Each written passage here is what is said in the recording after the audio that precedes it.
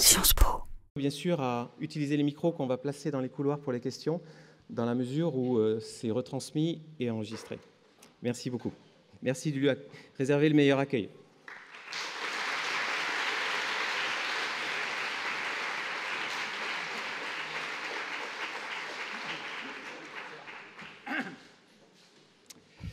Bonjour. Alors normalement, euh, vous devriez passer euh, sans encombre à travers ce que je vais vous raconter ce matin. D'abord parce que vous rentrez de vacances et donc vous êtes reposé, vous avez passé des nuits normales. Euh, ensuite, vous êtes jeune et vous connaissez probablement cette définition de la jeunesse qui est on est jeune tant qu'on se croit éternel et invincible.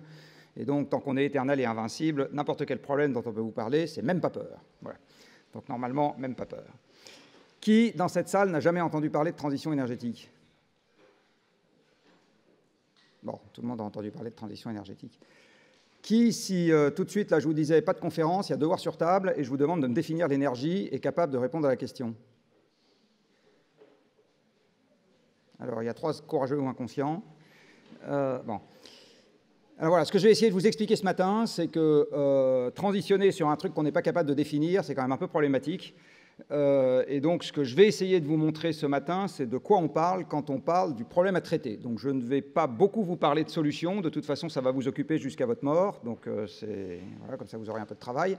Euh, par contre, je vais essayer de vous donner quelques éléments de cadrage sur le problème à traiter. vous allez voir qu'il est malheureusement beaucoup moins simple que l'idée qu'on peut s'en faire quand on lit le journal. Vous travaillez un certain nombre de vos anciens. Non, pardon, je ne veux pas être désagréable. Alors, euh, d'abord, on va commencer par allonger un peu l'âge du départ à la retraite. Il paraît que cet homme est parti à la retraite. Euh, et euh, on va commencer justement par rentrer directement dans le vif du sujet, qui est quand on parle d'énergie, de quoi parle-t-on? Si je vous pose la question, non pas à qui est capable de me définir ce que c'est que l'énergie, mais à votre avis, c'est quoi l'énergie? Alors, je ne vous pose pas la question juste à vous, je pose la question à la population française dans son ensemble. La première chose à laquelle les gens vont penser si je leur parle énergie, c'est pas du tout physique, c'est argent. Les gens vont penser à l'argent. Donc les gens, ils vont vous répondre immédiatement, l'énergie, c'est un truc qui s'achète. Donc c'est une facture. En gros, l'énergie, c'est une facture d'électricité, c'est une facture de gaz. Euh, quelques audacieux me parleront de leur facture de carburant, surtout s'ils sont gilets jaunes. Euh, mais voilà, ce qu'on va avoir immédiatement en tête, c'est l'énergie, c'est une facture. Donc si on parle d'énergie, ce qui est important, c'est de savoir si ça coûte cher ou pas cher. Euh, et puis, il n'y a pas tellement de lien avec le reste de, la, manière dont la société évolue. on confie ça à trois ingénieurs. Si l'éolien vaut moins cher que le nucléaire, on fait de l'éolien. Voilà, le problème est réglé. Alors vous allez voir que malheureusement, c'est la mauvaise réponse, ou en tout cas c'est une mauvaise réponse. Et la raison est très simple c'est que si vous regardez ce que vous coûte vraiment l'énergie, alors je vais vous poser la question, qui dans cette salle paye une facture d'électricité ou de gaz en direct? Qui dans cette salle, parmi ceux qui ont levé la main, est capable de me répondre instantanément quel était le montant de ma dernière facture? Voilà, donc vous en avez, je ne sais pas, à vue de nez, 15% euh, de ceux qui ont levé la main avant. Par contre, qui dans cette salle loue un appartement? Et qui est capable de me dire quel était le montant de son dernier loyer? C'est les mêmes. D'accord? Donc, ce que je viens de vous montrer, c'est que l'énergie, c'est une suffisamment petite facture pour que ça ne soit pas présent dans votre esprit comme étant quelque chose de significatif dans vos dépenses. Et de fait, c'est une petite facture.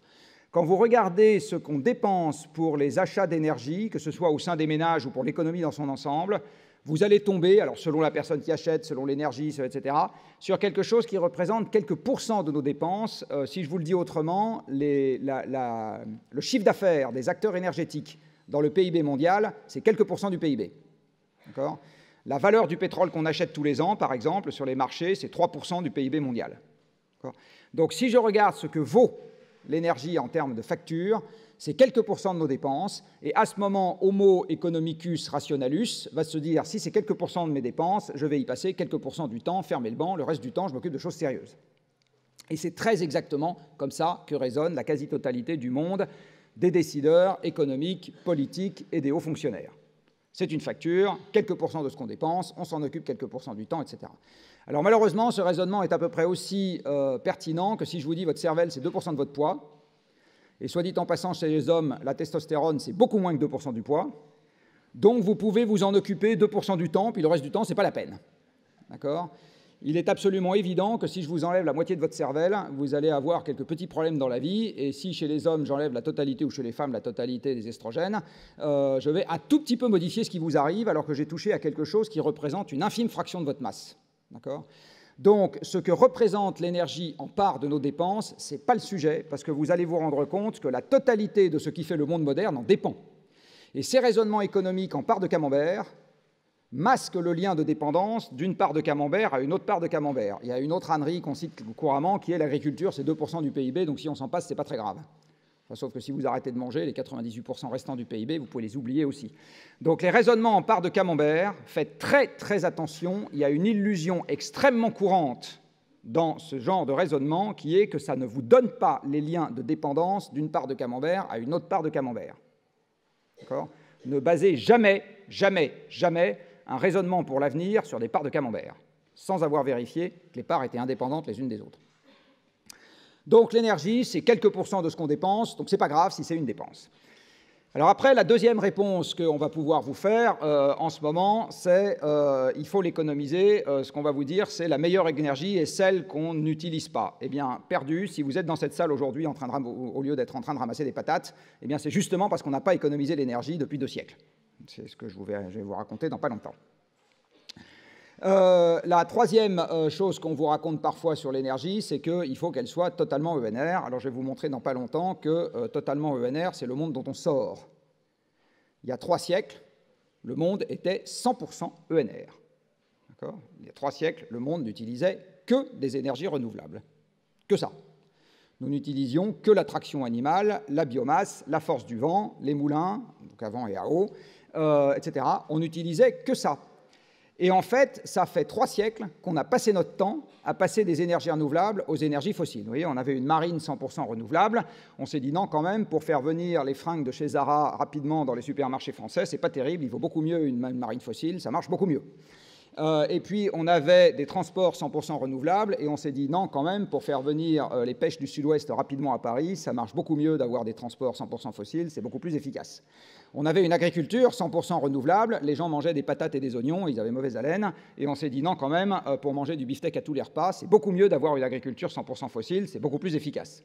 On avait des travaux publics 100% renouvelables, donc le canal de Suez et les voies romaines, on les faisait à la pelle et à la pioche, et on s'est dit non quand même, pour faire rapidement des ronds-points, très importants les ronds-points dans ce pays, euh, c'est beaucoup plus efficace euh, d'avoir euh, des travaux publics fossiles, et donc on a utilisé les travaux publics fossiles. On avait une construction 100% renouvelable, un siècle pour faire Notre-Dame, en version 1, en version 2 ça ira plus vite quand même, alors qu'aujourd'hui il faut un an pour faire une tour à la Défense, c'est beaucoup plus efficace d'avoir une construction 100% fossile, enfin essentiellement fossile. On avait une industrie 100% renouvelable, basée sur les moulins, et on s'est dit non quand même, pour faire le dernier smartphone à 20 euros par mois, c'est quand même beaucoup plus efficace d'avoir une industrie 100% fossile. Et nous avions même des séchoirs à luzerne 100% renouvelables, ça s'appelle le soleil, et aujourd'hui on a des séchoirs à luzerne à gaz parce que c'est beaucoup plus efficace. Donc ça fait deux siècles que nous passons notre temps à passer des énergies renouvelables aux énergies fossiles. Alors de deux choses l'une, ou bien on est des crétins patentés, ce qui est possible, après tout, il y a un certain nombre de philosophes qui le disent, ou bien c'est qu'il y a une raison physique profonde au fait qu'on ait fait ça pendant deux siècles, et c'est ce que je vais essayer de vous expliquer à partir de maintenant, il y a une raison physique profonde à ce qu'on ait fait ça, et donc ça ne va pas du tout être a piece of cake, comme disent les Anglais, euh, de passer à 100% ENR en conservant le pouvoir d'achat qu'on a aujourd'hui et les études longues qui vous permettent d'étudier ici. Mon pari, c'est que c'est juste pas possible, mais je vais essayer de vous le démontrer après. Donc, on a trois mauvaises réponses. Ce n'est pas une facture, on ne l'a pas économisé jusqu'à maintenant, on va le voir, et en fait, on a passé notre temps à sortir du monde 100% renouvelable. En fait, la bonne réponse en ce qui concerne l'énergie, vous allez voir à partir de maintenant, c'est que l'énergie, c'est ce qui nous a permis d'être Superman pour de vrai. Vous savez, Superman ou Superwoman, peu importe, il vole. Nous volons, on a des avions. Il a une force musculaire absolument monstrueuse, il peut arrêter ce qu'il veut. Eh bien, l'énergie, c'est ce qui vous permet de construire des machines qui arrêtent ce que vous voulez. Il suffit que la machine soit suffisamment grosse. Euh, le Superman, il a la possibilité de voir très loin. Eh bien, grâce à l'énergie, on fait des engins, on fait des prothèses oculaires qui nous permettent de voir très très loin. Ça s'appelle des satellites ou des télescopes, etc. Donc en fait, l'énergie, c'est ce qui nous a permis d'être Superman pour de vrai. C'est ça que je vais vous expliquer à partir de maintenant. Et c'est bien pour ça que la drogue est si douce et que c'est si difficile de s'en passer. Alors pour ça, je vais avoir besoin de revenir à de la physique. Alors, horreur. Qui a fait de la physique dans ces jeunes années ici avant de rentrer Ah, très bien. Donc tous les gens qui ont fait de la physique, normalement, ils sont capables de me définir ce que c'est que l'énergie. Ils n'ont pas levé la main tout à l'heure. Hein. Donc ou bien ils n'écoutaient pas. Alors je vais vous donner. Euh, alors en fait, les physiciens euh, continuent à discuter sur une manière unique de résumer ce que c'est que l'énergie en d'une phrase, mais moi je vais vous donner la mienne. Enfin, on est à peu près tous d'accord. En fait, l'énergie, par définition en physique, c'est ce qui quantifie la transformation de l'environnement. Alors je vais vous le dire de manière encore plus sophistiquée. L'énergie, c'est ce qui quantifie le changement d'état d'un système. C'est ça l'énergie en physique. Donc dès que vous avez un système qui change d'état, qui change de température, qui change de vitesse, qui change de forme, qui change de, voilà, n'importe quoi, vous avez de l'énergie qui entre en jeu. Donc compter l'énergie, c'est compter la transformation physique du monde qui nous entoure. C'est ça, l'énergie. Donc c'est une grandeur physique avant d'être un sujet de débat politique. Or, les grandeurs physiques ont une très mauvaise idée, c'est d'être régies par des lois qui ne dépendent pas de nous. Donc si vous avez envie, parce que c'est dans un programme politique, de changer la loi de conservation de l'énergie par un vote à l'Assemblée nationale, parce que vous vous dites que ça ferait bien dans un programme politique, vous pouvez toujours y aller, je parie toutes mes économies contre qui veut, vous n'y arriverez pas. Parce que l'énergie, encore une fois, c'est une grandeur physique régie par des lois qui ne dépendent pas de nous. C'est très désagréable d'avoir des trucs qui ne dépendent pas de nous. Hein. On, a, on, a, on, a, justement, avec ce siècle de progrès technique et de diffusion énergétique, on pense qu'on peut régler absolument tout et s'opposer à absolument tout. Non, pas tout à fait. Alors il y a une loi cardinale en, physique qui régit l'énergie qui s'appelle la loi de conservation. Alors le dictionnaire est bien fait. La loi de conservation, elle dit un truc très simple. Elle dit dans un système qui ne communique pas avec l'extérieur, la quantité d'énergie reste rigoureusement constante au cours du temps. C'est pas je te fais 10% en plus, en moins si je suis un bon négociateur. Non, non, c'est rigoureusement constante. Donc, euh, appliqué aux hommes, ça veut dire que les hommes n'ont pas d'autres possibilités en ce qui concerne l'énergie d'extraire de l'environnement une énergie qui s'y trouve déjà et de l'utiliser à leur profit. Alors utiliser de l'énergie, en fait, ça veut dire en pratique la mettre dans un convertisseur, c'est-à-dire que vous rentrez l'énergie dans un système physique qui va vous en sortir autre chose. historiquement, le seul système physique que les hommes ont utilisé, ou le premier système physique plus exactement que les hommes ont utilisé, c'est eux-mêmes. Donc nous, sommes notre premier convertisseur d'énergie. Et l'énergie qu'on met dedans, ça s'appelle manger, miam miam, trois fois par jour. Euh, enfin dans les pays dans lesquels on a de quoi. Donc euh, le, premier convertisseur qui a été utilisé par les hommes, c'est leur propre organisme alimenté par une énergie qui est l'alimentation. Et nous en sortons deux choses, de la chaleur, beaucoup, parce que nous sommes des animaux à sang chaud, du mouvement, un peu, et la capacité à raconter trois trucs intéressants ou moins intéressants devant un micro, c'est du mouvement. Et puis, avec le temps, on s'est rendu compte qu'on pouvait exploiter à notre profit d'autres sources d'environnement, d'autres sources d'énergie disponibles dans l'environnement, et ça a été justement les énergies renouvelables. Donc le bois, le vent, euh, la force de l'eau, etc., qu'on a confié à d'autres convertisseurs, alors certains biologiques, par exemple la biomasse, on peut la confier à un convertisseur biologique qui s'appelle un animal de trait, et à ce moment, on démultiplie déjà une première fois notre force musculaire mais on peut aussi la confier à un convertisseur inerte, par exemple un moulin, un truc qui n'est pas un être vivant, et ça va aussi démultiplier notre force musculaire. Et puis, euh, on a comme ça utilisé à peu près toutes les énergies renouvelables disponibles pour augmenter la capacité qu'on avait à transformer l'environnement. Et puis un jour, il y a des ingénieurs géniaux qui sont arrivés en disant, mais moi j'ai beaucoup mieux que ça, monsieur, j'ai un truc qui s'appelle le moteur. Alors, le moteur, c'est un autre convertisseur, tout à fait inerte aussi, fait de métal, et qui est capable de manger une énergie que vous, vous n'êtes pas capable de manger, parce que vous ne mangez pas du pétrole, enfin, vous ne buvez pas du pétrole, c'est pas terrible, du reste, je ne vous le conseille pas. Euh, mais par contre, ces convertisseurs-là sont capables d'exploiter à leur profit des énergies dont nous, nous ne faisons rien, du pétrole, du gaz, du charbon, voire de l'uranium, et d'en sortir des quantités de transformation de l'environnement absolument considérables par rapport à ce que nos muscles sont capables de faire. Et donc, nous avons cru et multiplié. Ce qui veut dire qu'à partir de maintenant, à chaque fois que vous verrez énergie quelque part dans un article de journal, un discours, etc., vous barrez énergie et vous remplacez par machine. Dit autrement, utiliser de plus en plus d'énergie, c'est utiliser de plus en plus de machines. Alors, la quantité d'énergie que vous utilisez, vous, il y en a une petite partie que vous voyez en direct, l'immensité, vous ne la voyez pas. Personne n'est rentré tout nu dans cette salle. C'est interdit en France, du reste. Alors, ce que vous avez fait pour ne pas être tout nu, c'est que vous êtes habillé ce matin. Eh bien, en vous habillant, vous avez utilisé à votre profit des milliers de machines, vous vous en êtes même pas rendu compte. Tous ceux qui ont des fibres naturelles, du coton, du lin, etc., ont utilisé, sans s'en rendre compte, des tracteurs, des moissonneuses-batteuses, euh, des machines qui ont entreposé ça dans des silos, des camions qui ont transporté ça jusqu'à des filatures, des filatures, des usines de produits chimiques qui ont fait la teinture, etc. Vous en êtes même pas rendu compte, mais vous avez utilisé tout ça à votre profit. Si vous êtes vêtu avec des fibres synthétiques, donc tous les polis machin chouettes, euh, eh bien, euh, vous avez utilisé des dérivés du pétrole. Donc vous avez utilisé, sans vous en rendre compte, une plateforme pétrolière, une raffinerie, un vapocraqueur, etc.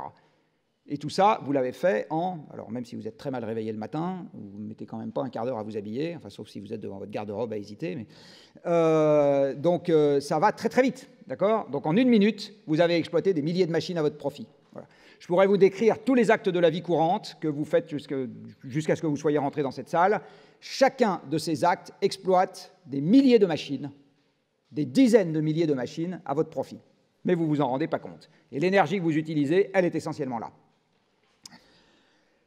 Alors, pour montrer à quel point ces machines sont surpuissantes par rapport à nos carcasses, je vais faire un petit exercice. Donc, nous sommes à la rentrée, donc certains d'entre vous ont peut-être été faire un peu de montagne. Qui a été faire un peu de montagne dans cette salle pendant l'été? Voilà, donc il y en a quelques-uns qui ont transpiré. Alors, le but de la montagne, c'est de monter. Sinon, ce n'est pas de la montagne, ça s'appelle une randonnée en brousse. Donc, euh, vous partez tôt le matin et on imagine que vous allez faire dans la journée 2000 mètres de dénivelé. Qui a fait 2000 mètres de dénivelé dans une journée cet été? Ah, il y en a moins. Hein Bravo. Euh, eh bien, si vous faites 2000 mètres de dénivelé, alors pour ceux qui n'ont pas la possibilité de partir à la montagne, vous avez une variante, c'est que vous allez faire 6,3 fois la tour Eiffel. Euh, ça marche très bien aussi, à pied, hein pas dans l'ascenseur avec les Japonais, non, non, à pied. Euh, bien, vous faites également 2000 mètres de dénivelé.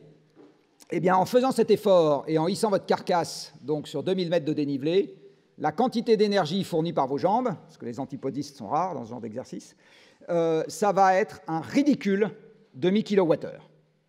Donc vous, transpirez pendant toute la journée, vous transpirez un peu quand même quand on fait 2000 mètres, hein. euh, vous transpirez pendant toute la journée, vous êtes quand même content euh, de la soupe que vous allez manger le soir, eh bien un demi-kilowattheure d'énergie mécanique, c'est tout ce que vos jambes ont été capables de fournir pour un effort de cette nature.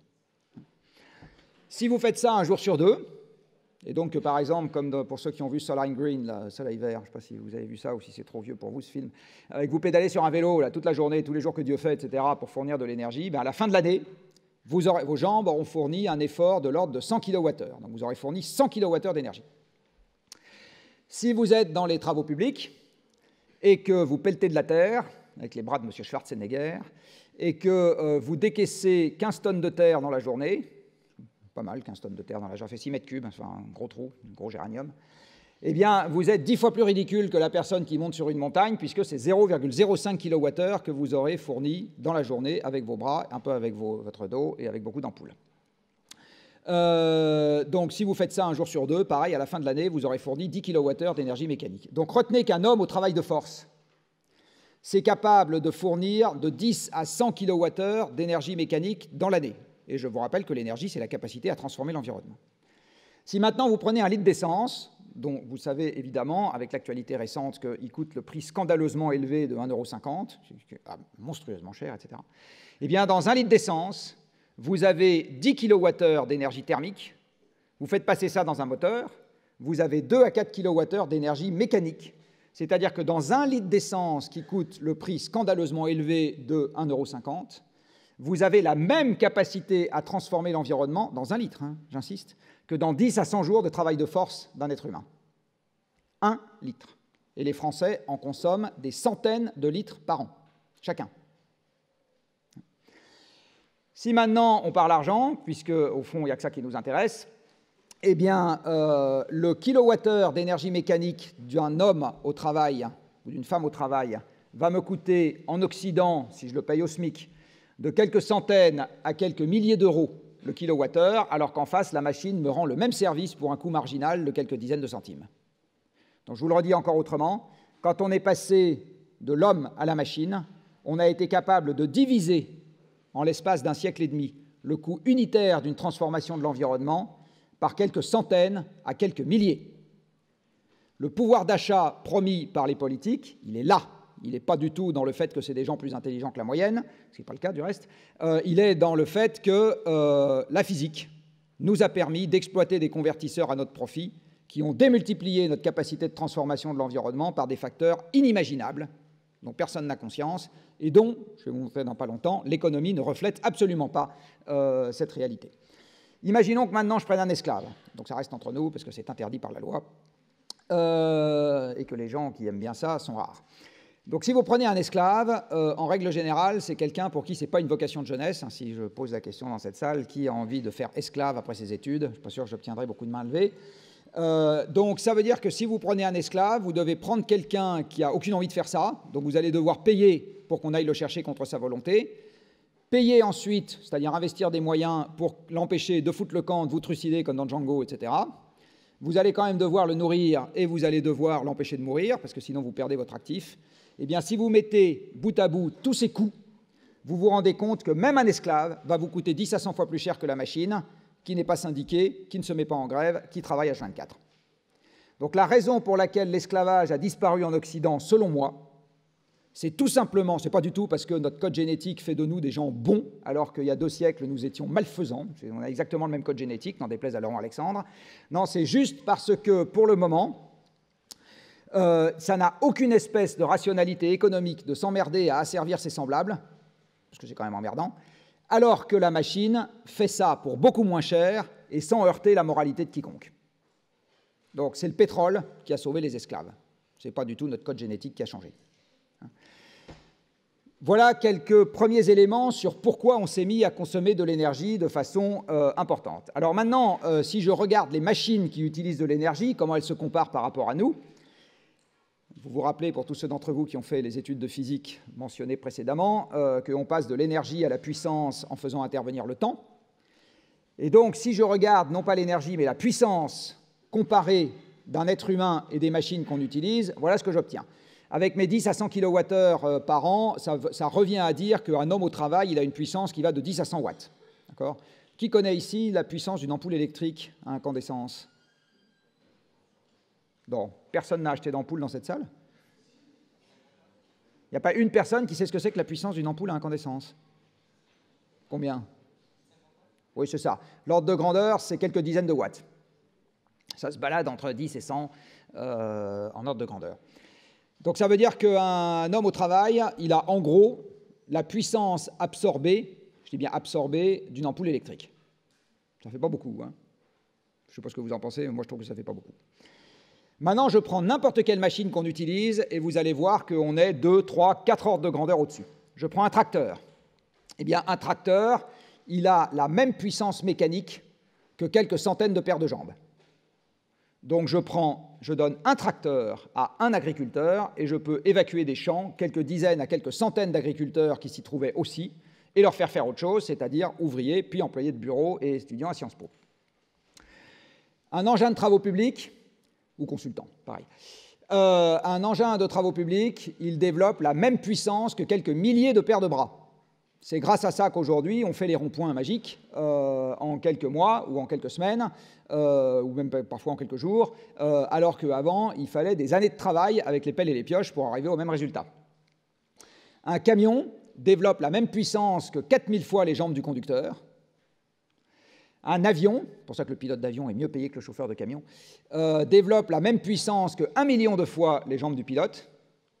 Et soit dit en passant, un gros avion de ligne a la même puissance qu'un gros laminoir euh, qui est opéré à l'instant où je vous parle par une personne. C'est-à-dire pour ceux d'entre vous et celles d'entre vous qui auront visité le laminoir de Fosse-sur-Mer, je ne sais pas si quelqu'un l'a déjà fait ici, euh, installation que j'ai visitée, à un instant donné, il y a une personne dans la cabine de pilotage qui maîtrise 100 millions de watts de puissance. Je vous rappelle que la puissance d'un homme, c'est 100 watts avec ses jambes. Donc le type, avec des joysticks, il a multiplié sa puissance musculaire par un million. Si euh, je supprime le laminoir de Fosse-sur-Mer et que je dis je vais prendre des gens qui tapent sur des tôles avec des marteaux pour arriver au même résultat, eh bien je prends toute l'île de France, vous compris, moi compris, je nous donne des marteaux et on tape sur des tôles toute la journée, c'est tout ce qu'on fait pour remplacer un laminoir conduit à l'instant où je vous parle par une personne. Donc voilà à quoi ça sert l'énergie. Ça sert à mettre en mouvement ces monstres de métal, de plastique euh, et, de, pierre qui sont capables d'avoir fait de nous Superman pour de vrai. d'avoir fait que nous Superman ou Iron Man, comme vous voulez, pour de vrai. Alors cette énergie que nous utilisons pour la mettre dans des convertisseurs, voilà comment elle a évolué par personne depuis un siècle et demi. Il y a un siècle et demi, l'essentiel de l'énergie qu'on utilisait, c'était du bois, donc des dérivés de la biomasse. Ça servait essentiellement à produire de la chaleur, donc ça alimentait des poêles euh, pour se chauffer, et ça a servi également à alimenter le début des machines qu'on a été capable de mettre au point à cette époque, donc des forges. Il faut savoir qu'en France, les forges occasionnaient de la déforestation et ont occasionné une déforestation croissante jusqu'en 1850, euh, et que c'est le charbon qui a sauvé les forêts françaises, euh, parce qu'on a arrêté d'utiliser du bois pour les forges. Euh, on utilisait également le bois pour les premières machines à vapeur euh, de l'époque. Alors ce que vous voyez, c'est que le bois, par personne, on en utilise de moins en moins depuis un siècle et demi, mais comme il y a beaucoup plus de monde, comme on le verra après, euh, en quantité totale, ça évolue pas de la même manière. Et vous voyez que toutes les autres énergies que nous avons utilisées après le bois sont toutes en utilisation croissante ou constante et elles s'empilent les unes sur les autres. C'est-à-dire qu'à ce jour, il n'y a pas macroscopiquement de substitution d'énergie dans le monde. On rajoute les énergies les unes sur les autres. Alors après le bois, on s'est mis à utiliser du charbon. Et vous voyez que la quantité de charbon utilisée par personne n'a jamais décru dans le monde depuis qu'on a commencé à utiliser du charbon. Il n'y a jamais eu de baisse de la quantité de charbon utilisée dans le monde. Alors, une des raisons à cela, c'est que le charbon, aujourd'hui, c'est la première source de production électrique dans le monde. C'est-à-dire que la le premier mode de production électrique dans le monde, c'est les centrales à charbon. On verra ça dans pas longtemps. Euh, et ça utilise deux tiers du charbon qui sort d'une mine euh, sur cette planète. Et l'électricité, c'est la forme d'énergie qui augmente le plus vite actuellement. Le pétrole est venu se rajouter au charbon, il ne sert pas du tout à la même chose. Le pétrole dans le monde, il sert essentiellement à la mobilité. Donc le charbon sert essentiellement à l'électricité, le pétrole sert essentiellement à la mobilité, avant toute chose. Après, euh, on a eu le gaz, après, on a eu l'hydroélectricité, nucléaire, et puis dernièrement, on a les nouvelles énergies renouvelables. Alors, ramener à l'individu les nouvelles énergies renouvelables, c'est les trois petits machins du haut, là, dont on vous explique que dans les 30 ans qui viennent, parce que c'est ça qu'il faut faire euh, pour l'accord de Paris, ça va remplacer tout le reste dans un approvisionnement énergétique croissant, puisqu'il faut bien que la croissance économique ait lieu. Alors, s'il y a quelques courageux dans cette salle, je veux bien prendre les paris avec qui veut, à la sortie de cette salle, que dans les 30 ans qui viennent, nous n'aurons pas 100% ENR, remplaçant tout ça par personne, et même cette quantité en croissance. Voilà. Donc s'il y a des gens qui sont prêts à prendre le pari, je veux bien y aller. Euh, et on n'y arrivera pas pour des raisons physiques. Euh, voilà, donc un monde 100% ENR, mais j'y reviendrai à la fin de cet exposé, c'est un monde dans lequel notre pouvoir d'achat il est divisé par n'importe quoi entre 5 et 40. Euh, donc on peut très bien le faire, il n'y a strictement aucun problème, hein, je veux dire physiquement on peut le faire. Ça n'est sûrement pas un monde qui correspond à la situation économique actuelle. Alors qui par ailleurs ne va pas durer non plus, donc ça, finalement peut-être qu'on va y arriver quand même. Voilà, mais j'en profite pour vous dire une chose. Vous voyez là l'importance quantitative des ENR dans le monde par rapport aux autres formes d'énergie. À l'évidence, ça n'est absolument pas reflété par l'importance de ces sujets-là dans la pagination du journal. Et donc, je vais être un peu taquin avec vos anciens qui travaillent dans les médias et vous donner quelque chose que je, j'espère vous allez euh, garder en mémoire parce que ça sera très utile pour piloter votre vie future, quoi que vous fassiez ne prenez jamais ce qu'il y a dans la presse comme une source opposable. Je répète? C'est bon? Ne prenez jamais ce qu'il y a dans la presse comme une source opposable. La presse, c'est la fin d'un téléphone arabe. Qui a déjà joué au téléphone arabe dans cette salle quand il était petit? Alors, parmi les mains qui se lèvent, qui a constaté qu'à la fin de la boucle du téléphone arabe, on avait toujours, dans tous les cas de figure, strictement la même chose qu'au début? On est d'accord? Personne.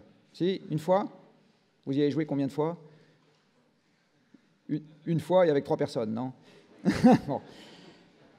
Donc la presse, c'est la fin d'un téléphone arabe dont vous ne connaissez ni le nombre de maillons, ni la qualité de la transmission entre chaque maillon, ni la source de l'information pour le premier maillon de la chaîne.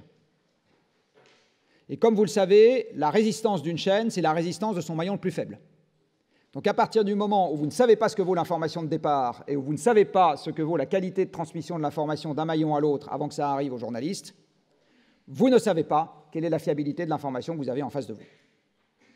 Donc je le répète, et c'est particulièrement vrai pour les sujets techniques, ne prenez jamais ce qu'il y a dans la presse comme une source opposable. C'est très agréable de vous dire ça.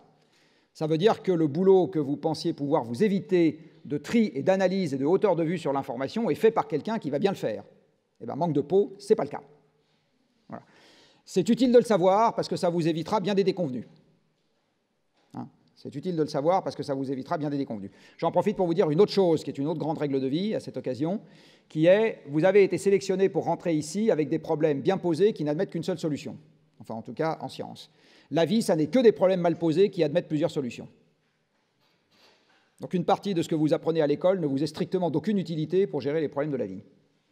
Hein, ça ne sera que des problèmes mal posés par exemple avec une information inexacte, et qui admettent plusieurs solutions. Voilà. J'en reviens à mon énergie. Donc, euh, donc, ce que vous voyez, c'est que la quantité d'énergie mobilisée par personne, c'est-à-dire la quantité de machines mobilisées par personne, a considérablement augmenté en l'espace d'un siècle et demi. C'est ça la révolution industrielle, et c'est ça, j'insiste encore une fois, qui fait l'augmentation du pouvoir d'achat de la population. Si je regarde aujourd'hui, l'essentiel de ce qui fait notre pouvoir d'achat, c'est donc des énergies fossiles.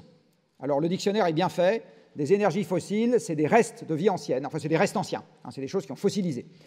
Donc les énergies fossiles, c'est gaz, pétrole, charbon, puisque c'est des restes de vie ancienne. L'uranium n'est pas une énergie fossile, c'est un métal.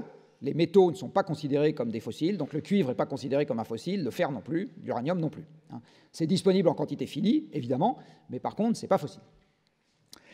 Euh, et les énergies fossiles étant des restes de vie anciennes et la vie sur, Terre étant basée sur des chaînes carbonées, elles ont toutes comme caractéristique commune de conduire à des émissions de CO2 quand on s'en sert, puisque libérer l'énergie d'une énergie fossile, c'est oxyder le carbone et l'hydrogène qui s'y trouvent.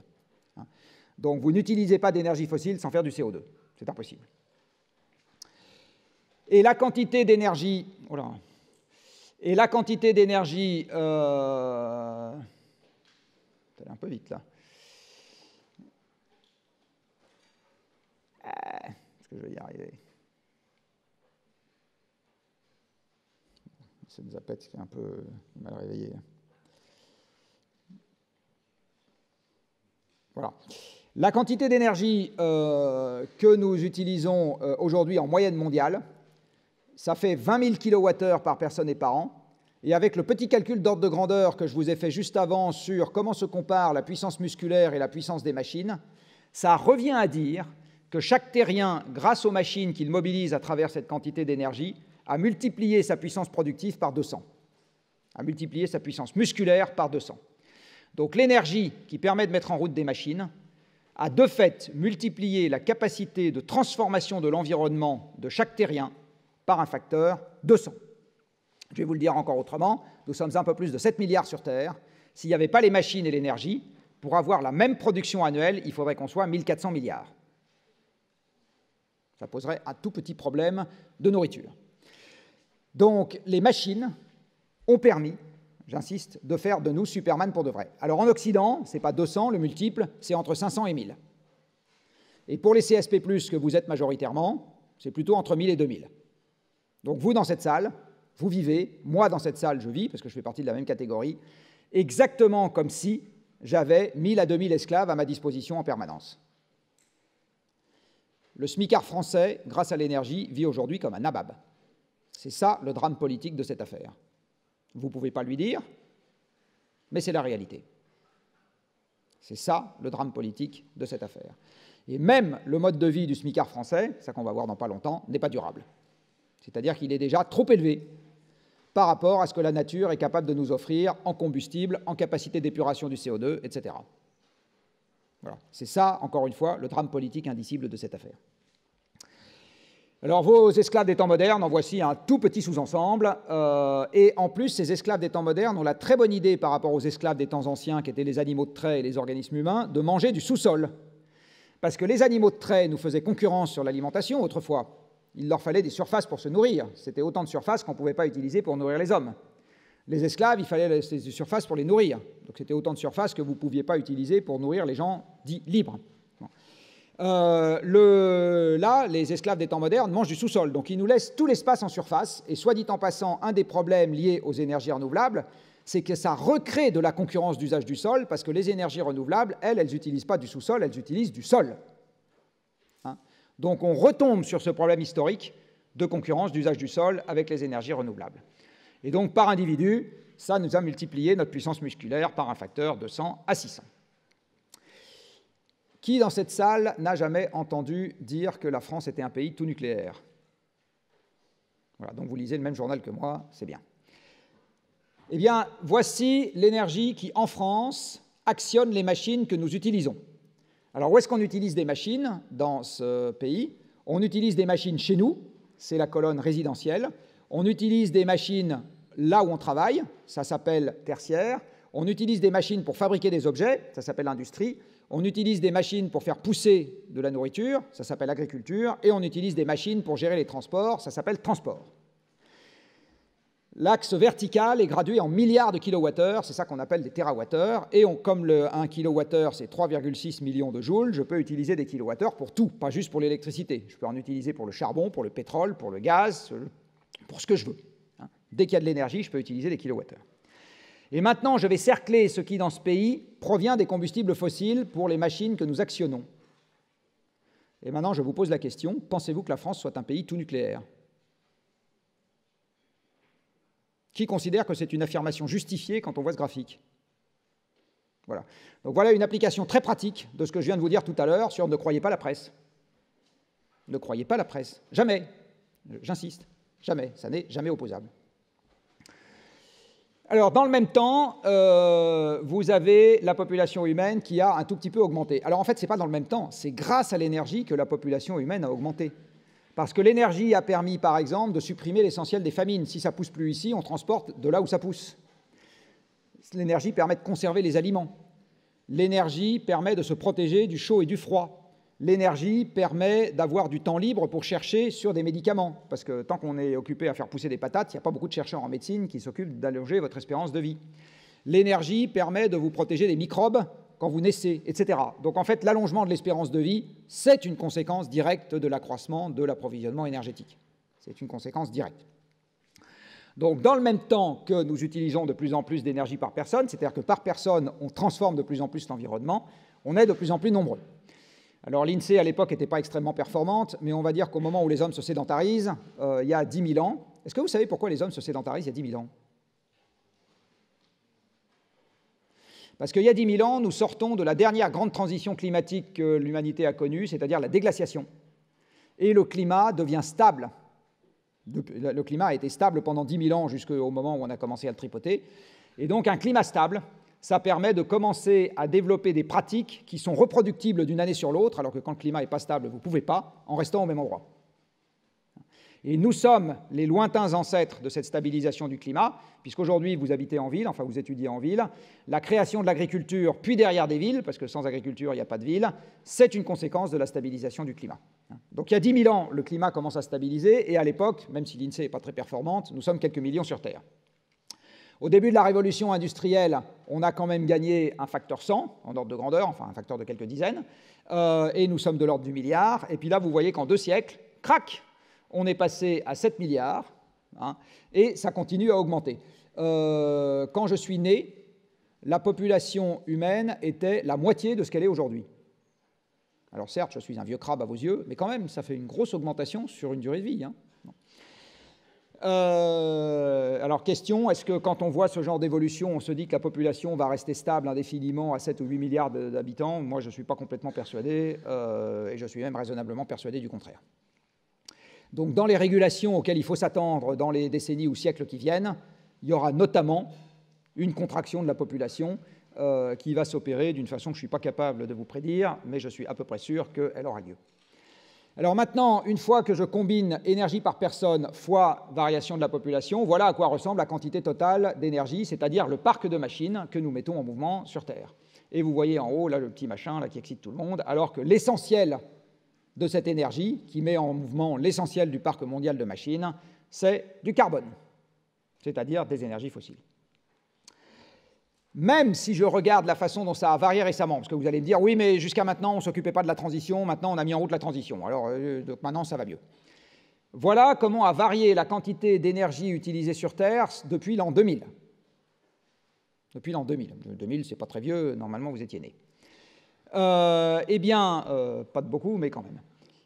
Donc, voyez, euh, depuis en gros l'âge de votre naissance, comment a varié la quantité d'énergie qu'on utilise sur Terre. Pour chacune des énergies qu'on utilise sur Terre, ce graphique ne vous donne pas la quantité qu'on utilise aujourd'hui, mais l'augmentation ou la baisse entre 2000 et 2018.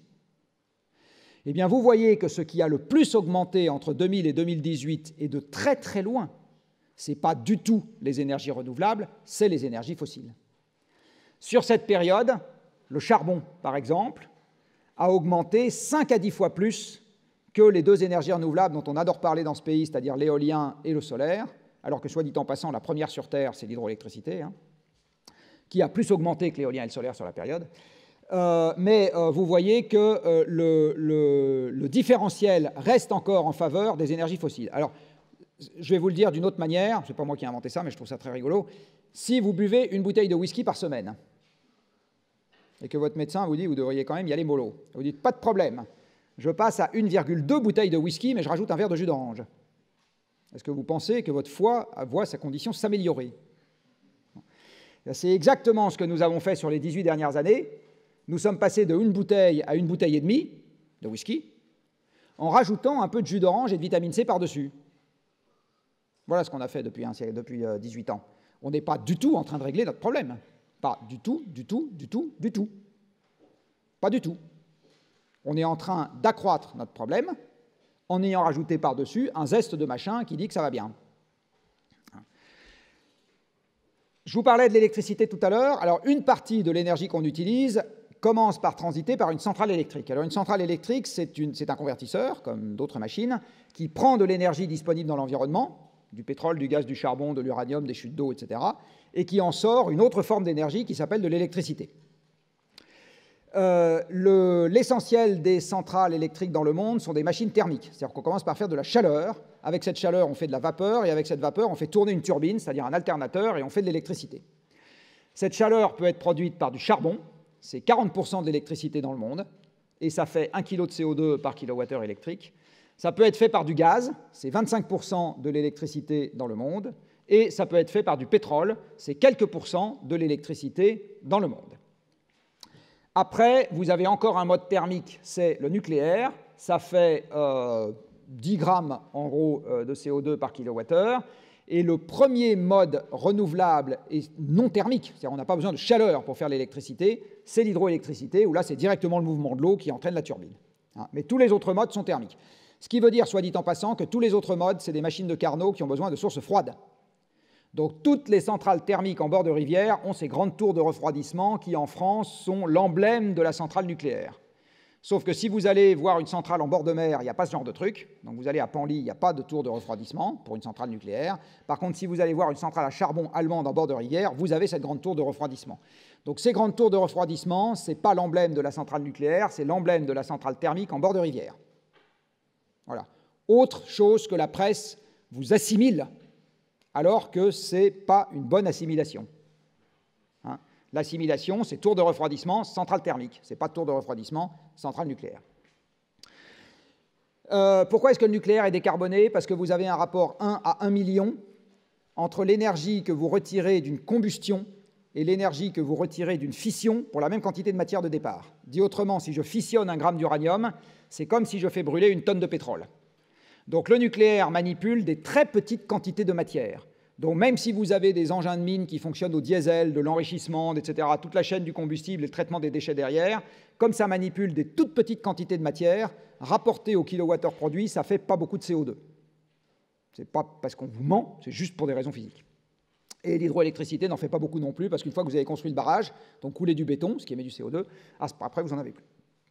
Et les nouvelles énergies renouvelables, vous voyez ce que ça représente en haut, et elles ne sont pas non plus zéro carbone.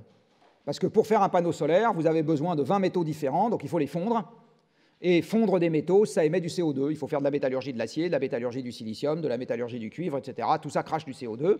Donc vous en avez plus ou moins en fonction du collecteur que vous allez utiliser. Hein.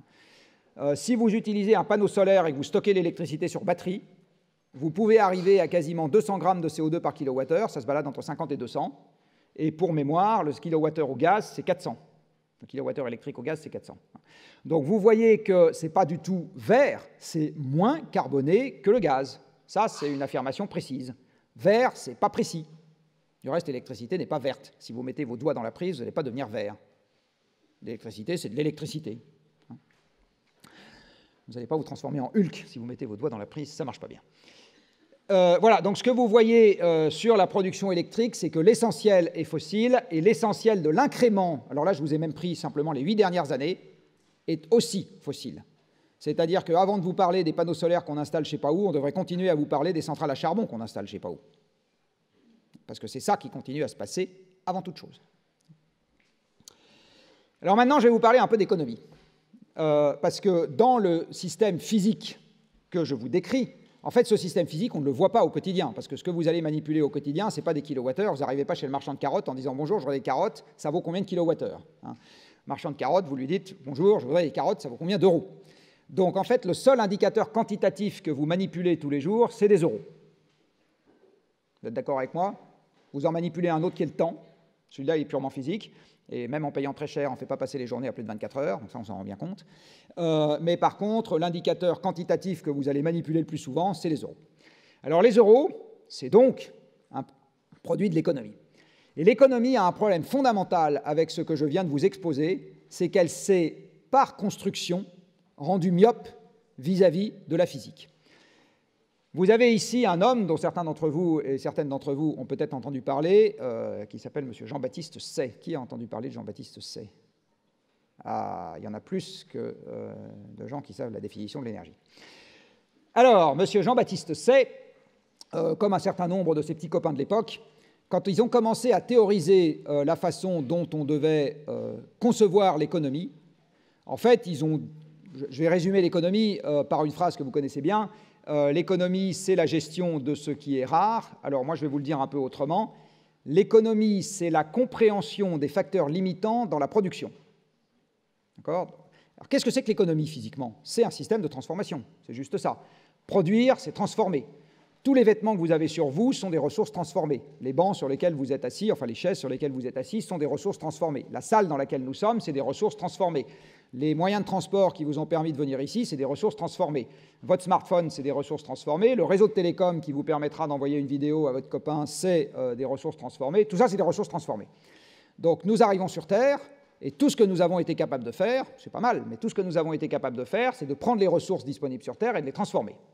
D'accord? C'est ça notre activité productive économique. Alors, dans cette affaire-là, il y a deux siècles.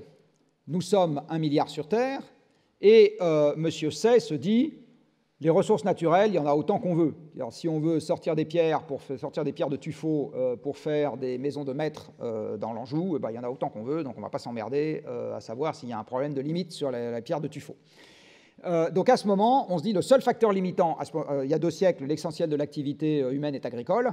Donc on se dit, bon, voilà, le seul truc limitant pour la production, c'est le nombre de gens qui sont capables de travailler et le capital humain déjà existant qui à l'époque est essentiellement la Terre. Le reste, ce n'est pas la peine de s'emmerder à le compter, parce que pour ceux d'entre vous qui ont des vieux souvenirs de maths, si on considère que le stock de départ est infini, toute variation relative du stock est nulle. Donc on ne va pas s'emmerder à traîner des zéros partout dans les équations, c'est un, peu, ballot. Donc on dit, allez hop, zéro, je m'en occupe pas. Et donc arrive M. Jean-Baptiste Say, qui écrit explicitement euh, ce qui était l'axiome de départ de la théorie économique que nous utilisons encore aujourd'hui, qui est les ressources naturelles c'est gratuit. Les ressources naturelles, c'est gratuit. Donc 20% d'oxygène dans l'air, c'est gratuit. Pourtant, si je retire 20% d'oxygène dans l'air, vous êtes d'accord avec moi que le PIB tombe à zéro. Parce que vous mourrez tous. Et toutes. On est d'accord là-dessus? Donc voilà quelque chose qui est indispensable à l'existence d'une activité économique et qui est invisible dans nos comptes. Je vais vous donner un autre exemple. Le pétrole est gratuit. Il délire complètement. Comment ça, le pétrole est gratuit 1,50€, les gilets jaunes. Non, le pétrole est gratuit. La formation du pétrole n'a pas coûté un centime à qui que ce soit dans cette salle. La formation du pétrole, c'est de la vie ancienne qui ne vous a rien coûté, de la fossilisation par la géothermie et la tectonique des plaques qui ne vous a rien coûté, et tout ce que ça coûte le pétrole, c'est de se baisser pour aller le ramasser. Donc quand vous payez le pétrole, ce que vous payez, c'est les ingénieurs de feu, euh, les fleurons français, Technique et Schlumberger, qui sont maintenant passés américains, euh, puis euh, les ingénieurs de chez Total, puis le consentement à se défaire du pétrole ou les chars et les avions que vous envoyez, ça dépend des versions, des gens qui en ont. C'est ça que ça vous coûte. À aucun moment, vous n'avez payé le pétrole lui-même. Et je peux vous refaire le raisonnement pour l'acier. Vous n'avez pas fait les noyaux des atomes de fer. Les atomes de fer ont été créés dans la génération d'étoiles qui a précédé le Soleil à partir de protons. Vous ne savez pas faire ça, moi non plus du reste. Euh, donc nous arrivons sur Terre et du fer, il y en a plein partout et c'est gratuit. Il n'y a qu'à se baisser pour aller le ramasser. La formation du fer est gratuite, la formation du cuivre est gratuite, la formation des diamants est gratuite, la formation du platine est gratuite, la formation de tout ce que nous avons à disposition sur Terre est gratuite. C'est exactement ce qui est écrit là. Alors si c'est gratuit, la diminution de cet actif vaut zéro. Donc ça, ça vaut zéro. Par construction. On est d'accord? Ça, ça vaut zéro par construction. Il y a quand même un mec qui a eu le so-called prix Nobel d'économie pour avoir fait une fonction de dommage là-dessus. Alors une fonction de dommage sur un truc qui vaut zéro par convention, c'est ça. Ça mérite pas un prix Nobel. Mais euh, c'est exactement, euh, ça mérite une blague, mais ça mérite pas un prix Nobel. Euh, donc, la Terre vaut zéro. Alors pour ceux d'entre vous qui ont quelques notions de base de comptabilité, ça revient à dire que nulle part dans la formation des prix, nous n'avons une dotation aux amortissements pour diminution des ressources naturelles. Nulle part. Donc l'économie qu'on va vous apprendre ici, je suis désolé d'être très désagréable avec la puissance invitante, euh, elle est basée sur un système de pensée qui se résume à ça. Vous avez deux facteurs productifs qui sont le travail et le capital humain, et ça, ça a permis de remplir le supermarché. Et si le supermarché n'est pas assez rempli, c'est-à-dire que le pouvoir d'achat n'est pas assez haut, on botte le cul des gens euh, qui ne veulent pas travailler, on botte le cul des banquiers qui ne veulent pas investir, et le système est censé repartir. Alors ça fait dix ans qu'on fait ça dans ce pays, et ça fait dix ans que, comme disait ma fille quand elle avait deux ans et demi, ça mieux pas. Si c'est pas comme ça que ça se passe, c'est probablement que la représentation du système n'est pas la bonne. Et de fait, la représentation du système n'est pas la bonne. La représentation du système, c'est que pour avoir ce que vous avez à droite, qui sont des ressources transformées, vous avez besoin des ressources à transformer. Je le redis, vous ne créez pas, tel Harry Potter, les atomes de cuivre et de fer qu'il y a dans les objets qui contiennent du métal. Vous avez besoin de les trouver dans la nature. Donc vous avez besoin de ressources. Et vous avez besoin de la capacité à les transformer, ce qu'on appelle du travail. Et ce travail, avec ce que je vous ai exposé avant, il vient pour, un, de nos carcasses, et pour 200 des convertisseurs extracorporels que nous avons créés, qui s'appellent Superman, ou Spider-Man, ou euh, Iron Man, ça dépend quel est votre comique préféré de chez Marvel. Donc ce que vous voyez sur ce graphique, c'est une représentation synthétique physique de l'économie et là-dedans, le capital, il existe bien. C'est une boucle interne au système. C'est-à-dire que cet immeuble, qui est un élément de capital, a été fait exactement comme vos vêtements qui n'en sont pas normalement, c'est-à-dire en transformant des ressources naturelles. La seule différence, c'est que ça ne s'use pas quand on s'en sert, c'est-à-dire que normalement, cette salle ne s'écroulera pas pendant qu'on y est. Ici, ça se passe, ça fait les gros titres des journaux, pour une fois, à raison. Donc le capital, c'est juste de la production, c'est-à-dire des ressources transformées déjà existantes, que nous réaffectons parce que, c'est capable de durer, à une amélioration de la production future, c'est-à-dire de la transformation future de ressources naturelles. C'est juste ça le capital en termes physiques. Alors une fois qu'on comprend ça, on se dit qu'il y a d'autres facteurs limitants dans le système et que par exemple, si nous devons avoir un défaut d'énergie, dont vous verrez dans pas longtemps que ça n'est pas nécessairement donné par le prix, ça, c'est encore un truc très désagréable que je vais vous dire. Il n'y a pas d'élasticité prix-volume, on le verra après. Euh, si vous avez un défaut d'énergie, eh bien, vous aurez un défaut de production, même si vous avez plein de gens prêts à se lever le matin pour aller travailler, et même si vous avez des banquiers qui sont extrêmement généreux. De toute façon, vous avez un facteur limitant qui s'applique. Mais comme M. Jean-Baptiste Osset et ses copains ont dit l'énergie, on s'en fout, c'est une ressource naturelle, c'est gratuit, vous ne le voyez pas venir avec les conventions qu'on utilise. Donc vous dites, c'est la crise de la dette, de machin. Non, non. Vous, allez voir, c'est d'abord la physique qui s'applique et les indicateurs monétaires suivent. Et si vous avez un défaut de ressources, eh bien, vous aurez également un défaut de production. Alors, qui est allé en Bretagne cet été? Ah, pas mal. Qui sait où se trouve le Guilvinec Un peu moins. Est-ce que vous savez quelle est l'activité principale du Guilvinec La pêche, absolument. Est-ce que vous avez déjà vu un bateau de pêche? Du coup, oui. Alors, je vous pose une question. Imaginons que vous ayez un bateau de pêche avec des tas de marins prêts à aller sur la mer et le crédit maritime prêt à payer le bateau de pêche. D'accord? Et pas de diesel pour mettre dans le bateau. À votre avis, est-ce que le bateau pêche? Les gens prennent des rames et font avancer le bateau de, je sais pas quoi, 5 000 ou 10 000 chevaux Non, pas du tout. Imaginons donc pas d'énergie, pas de PIB. Et puis derrière, la conserverie de Douarnenez ne conserve rien du tout. et le magasin Franprix du coin de la rue qui vous vend les sardines en boîte ne vous vend rien du tout. Donc vous n'avez pas de PIB derrière. Et l'administration fiscale ne perçoit pas de TVA sur tout ça.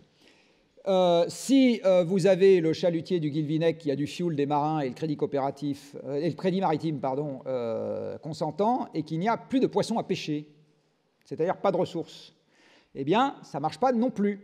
Et comme le disait Renaud, la mer c'est dégueulasse parce que les poissons baissent dedans et les poissons apparaissent tout seuls dans la mer parce qu'ils baissent dedans. Et c'est gratuit. Et c'est gratuit. Donc vous utilisez pour faire le PIB de la pêche et toutes les activités de transformation à l'aval deux ressources qui sont totalement gratuites, qui s'appellent du pétrole et des poissons. Donc voilà un petit exemple. Et là, vous voyez bien que dès aujourd'hui, en ce qui concerne la pêche, parce que vous avez tous entendu parler, qui en l'occurrence c'est légitime, du problème de la surpêche, dès aujourd'hui, nous avons un problème de ressources disponibles dans l'océan, qui n'est ni un problème d'effectifs dans la marine, ni un problème de banquiers qui sont prêts à prêter. Ce n'est pas ces problèmes-là qui s'appliquent, c'est un autre, c'est un problème physique qui n'a pas d'existence dans nos conventions économiques. Euh, alors, historiquement, ce truc-là veut bien fonctionner. Historiquement, voilà comment ça se présente. Voilà le PIB reconstitué depuis l'an zéro. Alors, euh, la reconstitution du PIB en l'an zéro, c'est comme euh, la population humaine en l'an moins 10 000. Hein, à ce moment-là, l'INSEE est moins efficace qu'aujourd'hui. Mais enfin, on est quand même capable, en ordre de grandeur, de faire des reconstitutions. Vous avez ici à quoi ressemble le PIB mondial reconstitué depuis la naissance de M. Jésus-Christ. Alors, ce que vous voyez, c'est que pendant très longtemps, en fait, la production économique de euh, l'humanité n'a quasiment pas varié, tout simplement parce que la population n'a quasiment pas varié, enfin, où elle variait très peu, et que par ailleurs, il y avait des pestes, des machins, etc. Et par ailleurs, la productivité par personne ne variait pas puisqu'on n'avait pas d'auxiliaires supplémentaires à s'adjoindre. On n'avait que notre puissance musculaire et nos esclaves en, en taux constant et nos animaux de trait en taux constant. Donc ça ne varie pas. Alors ça résout le problème des élections. C'est ce que je vous ai mis là. Euh, parce qu'il n'y euh, a pas besoin de promettre la croissance, il n'y a pas de croissance. Mais vous noterez aussi, vous qui allez faire des études qui sont associées à cette affaire-là, que vous n'avez pas non plus de démocratie. Les seules démocraties antiques que vous trouvez sont des démocraties qui ont reproduit le système esclavagiste que nous avons aujourd'hui avec nos machines, c'est-à-dire la Rome et la Grèce antique, où vous aviez une poignée de citoyens libres assis sur une armée d'esclaves. Parce que pendant que les mecs faisaient leurs orgies et discutaient de l'avenir de la cité, il y avait des millions d'esclaves autour de Rome qui bossaient pour eux pour leur faire leur nourriture. Hein. Donc la démocratie n'était pas quelque chose qui concernait l'ensemble de la population, ça concernait une minorité de nantis qui étaient assis sur une majorité d'asservis. Eh bien, c'est exactement le système que nous avons reproduit aujourd'hui avec les machines. Nous sommes une minorité, quelques milliards d'individus de nantis, sur une majorité, quelques milliers de milliards d'individus de machines. En sauf que les machines ne gueulent pas. Mais sinon, c'est et que la morale ne voit rien à y redire. Enfin, sauf pour les conséquences futures. Donc voilà, voilà exactement le système qu'on a reproduit. Donc, pas de croissance. Retenez bien ce que je vais vous dire. C'est pas complètement sûr qu'on garde la démocratie. La démocratie, comme vous pouvez le constater aujourd'hui, c'est l'art de promettre plus à tout le monde. Dans un monde sans croissance, c'est arithmétiquement impossible. Donc si je promets plus à ce jeune homme en orange au milieu de la salle, par construction, je promets moins à cette jeune femme en rouge là-bas. C'est par construction. Dans un monde sans croissance, c'est comme ça. Donc, conserver la démocratie dans un monde sans croissance, si, si, ils existent bien, les deux, je les ai vus. Euh, dans un monde sans croissance, euh, vous n'arrivez pas à gérer un système. Les arbitrages vont devenir considérablement plus violents. Considérablement plus violents. Et donc on a intérêt à bien les faire. Jusqu'en 1850, c'est-à-dire la révolution industrielle, vous voyez, il y a une croissance, mais enfin, il faut la regarder avec une loupe. le premier pays où ça décolle vraiment, c'est l'Angleterre, parce que l'Angleterre commence à taper dans son charbon, et le charbon, c'est les machines. Et puis arrive le début des combustibles fossiles, et alors là, c'est Ralovli, euh, et vous avez l'invention par les économistes de la croissance structurelle de long terme. Quelle bonne blague Quelle bonne blague Ça n'existe évidemment pas, la croissance structurelle de long terme. Tous les systèmes physiques finissent par revenir à l'équilibre quand ils sont hors d'équilibre. Donc la croissance structurelle de long terme, ça n'existe pas. Pour le moment, nous avons eu une phase transitoire de l'humanité, un siècle et demi, c'est court au regard des temps géologiques, avec de la croissance. Vous finirez votre vie dans un monde sans croissance, même moi. Ça n'existe pas, la croissance structurelle de long terme. Euh, à court terme, ça marche bien, parce qu'à court terme, on n'a pas de problème sur l'énergie. Alors voilà le meilleur modèle macroéconomique que j'ai trouvé à ce jour, ça s'appelle une droite. La droite, elle vous dit, regarde combien d'énergie tu utilises sur Terre, c'est-à-dire combien de machines tu mets en mouvement, et moi je te dirai quel est le PIB mondial. Ça marche extrêmement bien. Alors, j'ai pas le temps ce matin, euh, mais euh, j'ai quelques articles disponibles sur mon site sur lesquels je fais des monographies sur certains pays, et j'en ai fait une sur l'Italie il y a un an. L'Italie est un cas d'école où cette courbe-là rebrousse chemin à partir de 2006. Il y a moins d'énergie qui rentre dans le pays parce que l'Italie était un pays très dépendant du pétrole et le pic conventionnel, c'est 2008. Donc l'Italie voit son approvisionnement en pétrole se casser la gueule, pas parce qu'elle l'a choisi, parce qu'elle le subit. C'est exactement la même chose pour la Grèce et pour le Portugal et pour l'Espagne, soit dit en passant. Et à ce moment, le PIB italien rebrousse chemin, quoi que puissent penser les lecteurs italiens. D'accord? Quoi que puissent penser les lecteurs italiens. Et c'est exactement ce qui nous pend au nez dans tout le reste de l'Europe. C'est exactement ce qui nous pend au nez dans tout le reste de l'Europe. Hein. Euh, alors, cet euh, asservissement, il marche non seulement en, valeur absolue, mais en variation. Ici, vous avez la variation de l'approvisionnement énergétique dans le monde en vert et la variation du PIB mondial en bleu. Vous voyez que ça marche extrêmement bien.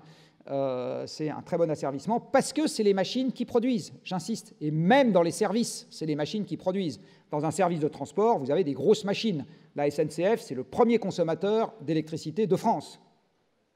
Hein dans les services dits à la personne, vous avez de l'énergie. Vous n'allez pas chez la personne sans une voiture. Vous ne lui amenez pas ses repas sans des usines pour produire les repas, les mettre sous plastique, etc.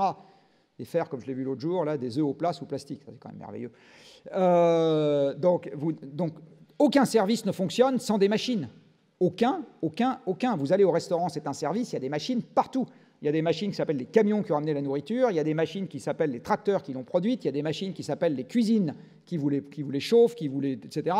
Vous avez des machines qui s'appellent des hachoirs qui vous les... Des machines partout, partout, partout, partout.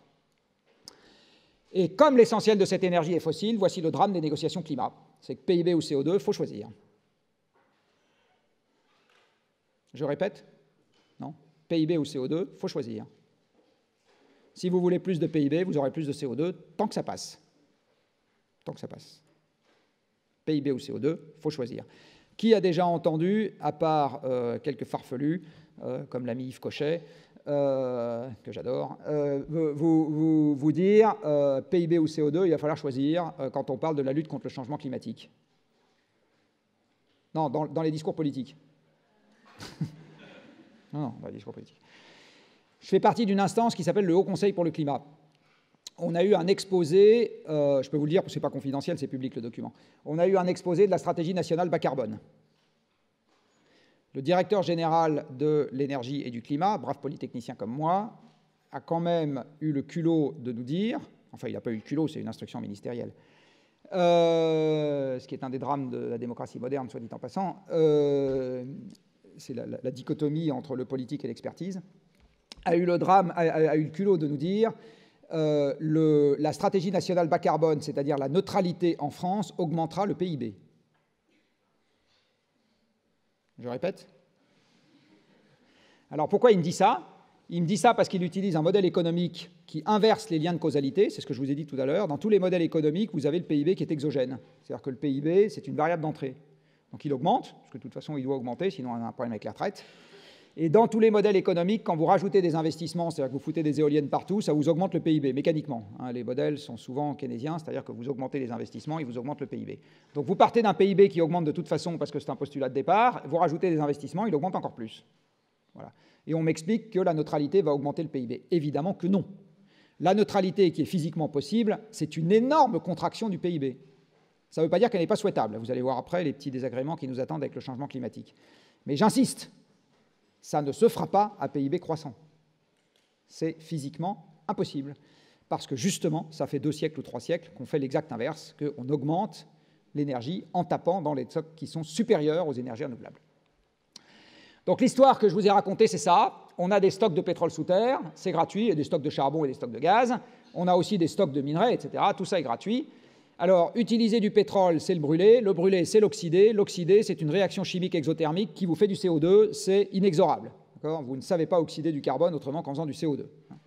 Et ça, ça ne changera pas d'ici à votre mort. Et ça, ça vous permet de mettre en œuvre des machines qui transforment tout le reste pour faire tous les produits qu'on euh, a sous la main. Cette abondance de produits et cette formidable augmentation de la productivité du travail, parce que la productivité du travail multipliée par 100, c'est pas que chacun d'entre vous est devenu Shiva avec 100 paires de bras et 100 paires de jambes. sauf erreur de ma part, comme votre code génétique est le même qu'il y a deux siècles, votre nombre de bras et de jambes est aussi le même qu'il y a deux siècles. D'accord? Vous avez, si je sais compter jusqu'à deux, deux bras et deux jambes chacun et chacune. Ça ne va pas bouger. D'accord? Donc, la raison pour laquelle nous sommes plus productifs, ce n'est pas qu'on a 100 paires de bras et 100 paires de jambes, c'est qu'on a des machines qui travaillent pour nous. Sauf que le dénominateur est resté le même. Au lieu de mettre homme plus machine, on a laissé au dénominateur homme. Donc effectivement, le produit au numérateur augmente grâce aux machines, au dénominateur on garde la même chose, la productivité augmente. C'est juste une affaire conventionnelle. On aurait pu prendre un autre exemple, enfin un autre indicateur, on n'aurait pas vu augmenter.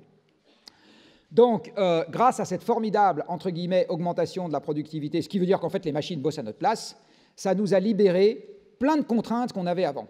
D'abord, on a pu habiter à un endroit qui était loin des ressources, puisqu'on peut les transporter. Donc on peut habiter en ville, par exemple, et continuer à bénéficier des ressources de la campagne. On mange, on s'habille, on a des pierres pour construire, etc.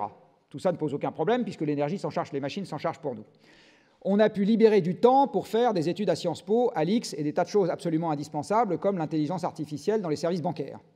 Quand même essentiel ce genre de truc, ça mérite beaucoup plus d'argent euh, que la lutte contre le changement climatique. ça, ça, consomme beaucoup plus d'argent que la lutte contre le changement climatique.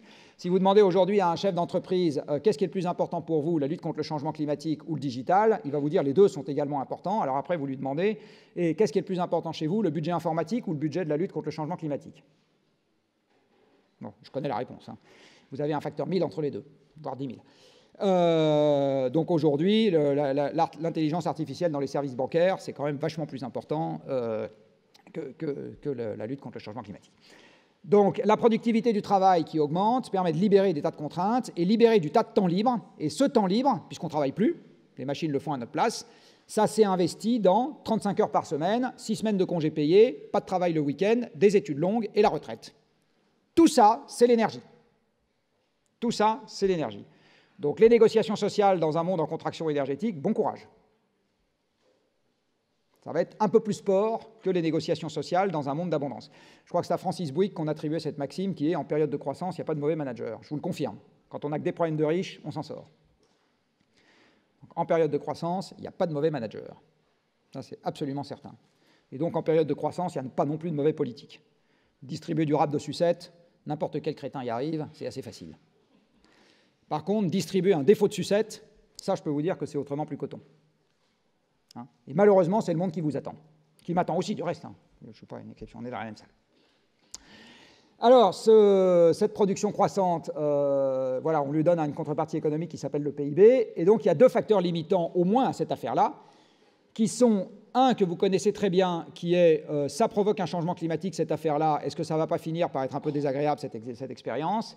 Et un deuxième facteur limitant dont les journaux français ne parlent quasiment jamais, qui est le facteur limitant à l'amont, à savoir est-ce que j'ai assez d'énergie qui rentre dans le système pour lui permettre de continuer à croître? Alors pourquoi est-ce que les médias français ne parlent jamais du deuxième problème? Tout simplement parce que pour le premier problème, vous avez de la science en libre accès et des militants qui militent. Or, un journal, il reflète des communiqués de presse. Un journaliste ne se lève pas le matin en disant Tiens, je vais faire une monographie sur les ressources moyennes des étudiants à Sciences Po. Il reçoit un communiqué de presse de Sciences Po disant Cocorico, les ressources moyennes des étudiants à Sciences Po ont baissé de 3%, ça prouve bien qu'on se démocratise. Et là, à ce moment, il va aller regarder ce qui se passe. Mais jamais il va lui venir l'idée tout seul de faire ça. Jamais, jamais, jamais. Donc tout ce que vous voyez dans le journal, je dis bien absolument tout ce que vous voyez dans le journal, vous avez un truc qui en est à l'origine qui s'appelle une dépêche, et à l'origine de la dépêche, vous avez un communiqué de presse.